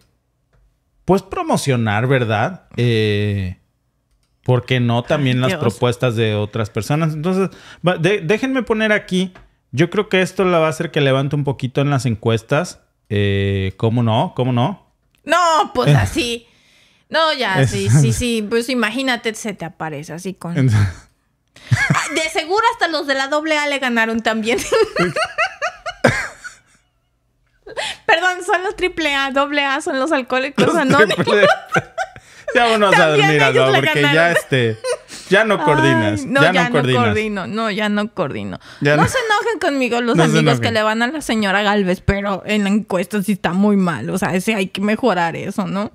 Ni hablar. Nos preguntaban que, que- cómo habían estado las hamburguesas. Bien ricas. Estuvieron- de, o sea, es de verdad que sí. A los niños les gustaron mucho. La carne como que picaba. Y, Sí. y no picaba de este de, de, de chile, sino que No, picaba de condimentos. de condimentos. Pero estuvo, estuvo Pero bueno. no, no cayeron, no, no, estaba condimentada la carne, pero no estaba muy pesada, así que sí estaban, este, estaban ricas, muy ricas, ¿eh? Se las recomendamos. Estaban buenas. Pues ya pronto vamos a hacer otro de estos en vivo ahí en la cocina. Ahí están todos los fierros ya listos para poder hacer otros Sí. envíos. Así ahí, que. ahí se los dejamos saber y les pedimos sugerencias a ver ustedes qué quieren que, que hagamos, ya saben. No somos buenos para cocinar, sí para comer, pero pues cocinamos y ahí vemos qué tal nos quedó. Así es. Y bueno, amigos, pues entonces, eh, pues después de este sondeo de opinión tan revelador. de- de- después de esta Es- encuesta tan cerrada, Sí, tan, tan, cerrada. Tan cerrada, pues entonces nos vamos a dormir con esta imagen. Este, yo creo que, a ver, espérame, Alba. No, yo creo que es justo despedirnos con una buena imagen. Si la imagen del día, este, Es como la imagen, Ah, déjame ay, esto me come el oído. Ay. nos despedimos, mis queridos amigos, con la imagen del día. Entonces, váyanse a dormir Mira, o se les va a aparecer Xochitl. Antes, antes, antes. Si, Sí. no, si le pones un cumbión, un En- un cumbión bien loco. Parece que la señora está bailando. Yo así bailo, entonces podríamos poner del otro lado, me podría yo tomar una foto así y pareciera que está- estamos bailando una de los ángeles Pero azules. es que, es que te voy a decir algo, Alba. Es, yo, ya dejen esos clichés. Los políticos, ¿por qué siempre que hacen campaña? eh, hay que, te- que guardar dignidad, ¿eh? O se van a tomar la foto con un taco así. Con el- ah, sí. Así la foto de... que- No, o con su cara de. ¿Creen que eso les va a dar votos? No les va a dar votos. O este, sí, ¿no? O haciendo cosas de estas, o sea, Ah, ay. mejor, o haciendo TikToks que, pues, que son de adolescentes que no les quedan. Entonces, yo Con creo que el hecho de que te vuelvas, sí, el hecho de que te vuelvas viral en algo no quiere decir que vas a obtener votos. Entonces, yo creo que tienen que reinar las propuestas. Eh, por sobre lo que pensamos que es trending, porque eso. Sí. O imitando canciones de moda y saliendo a bailar, este. Que luego bien descoordinados, un cursito de baile. Sí, no. Unas clasecitas, aunque sea de zumba, sirve que Político la... que sabe bailar no es político. ¿Quién sabe bailar? No, sí, retíralo, porque acuérdate que este varios gobernadores de Veracruz sí sabían Ah, sí, sí, bailar, sí, sabían ba- hasta Oye, danzón. no, de hecho, este, el gobernador que está ahorita en Veracruz sí baila bien salsa y todo eso, ¿eh? Ah, sí, Sí, ese es salsero, es salsero. Sí, García No, es ya, eso- es, salsero de sí, corazón. sí, sí, sí, sí. Bueno, Entonces sí. pero a sí. pocos les queda. A la gran mayoría no saben bailar, entonces si no, No, saben los bailar, de no se Veracruz sí, sí bailan, amigos. Los políticos de Veracruz sí Sí bailan. saben bailar. Y si te atontas, te bailan. Y si te tontas, te bailan. Amigos, pues muchas gracias por haber estado aquí esta noche y váyanse a dormir ya porque si no se les va a aparecer la luchadora. Nos vemos mañana.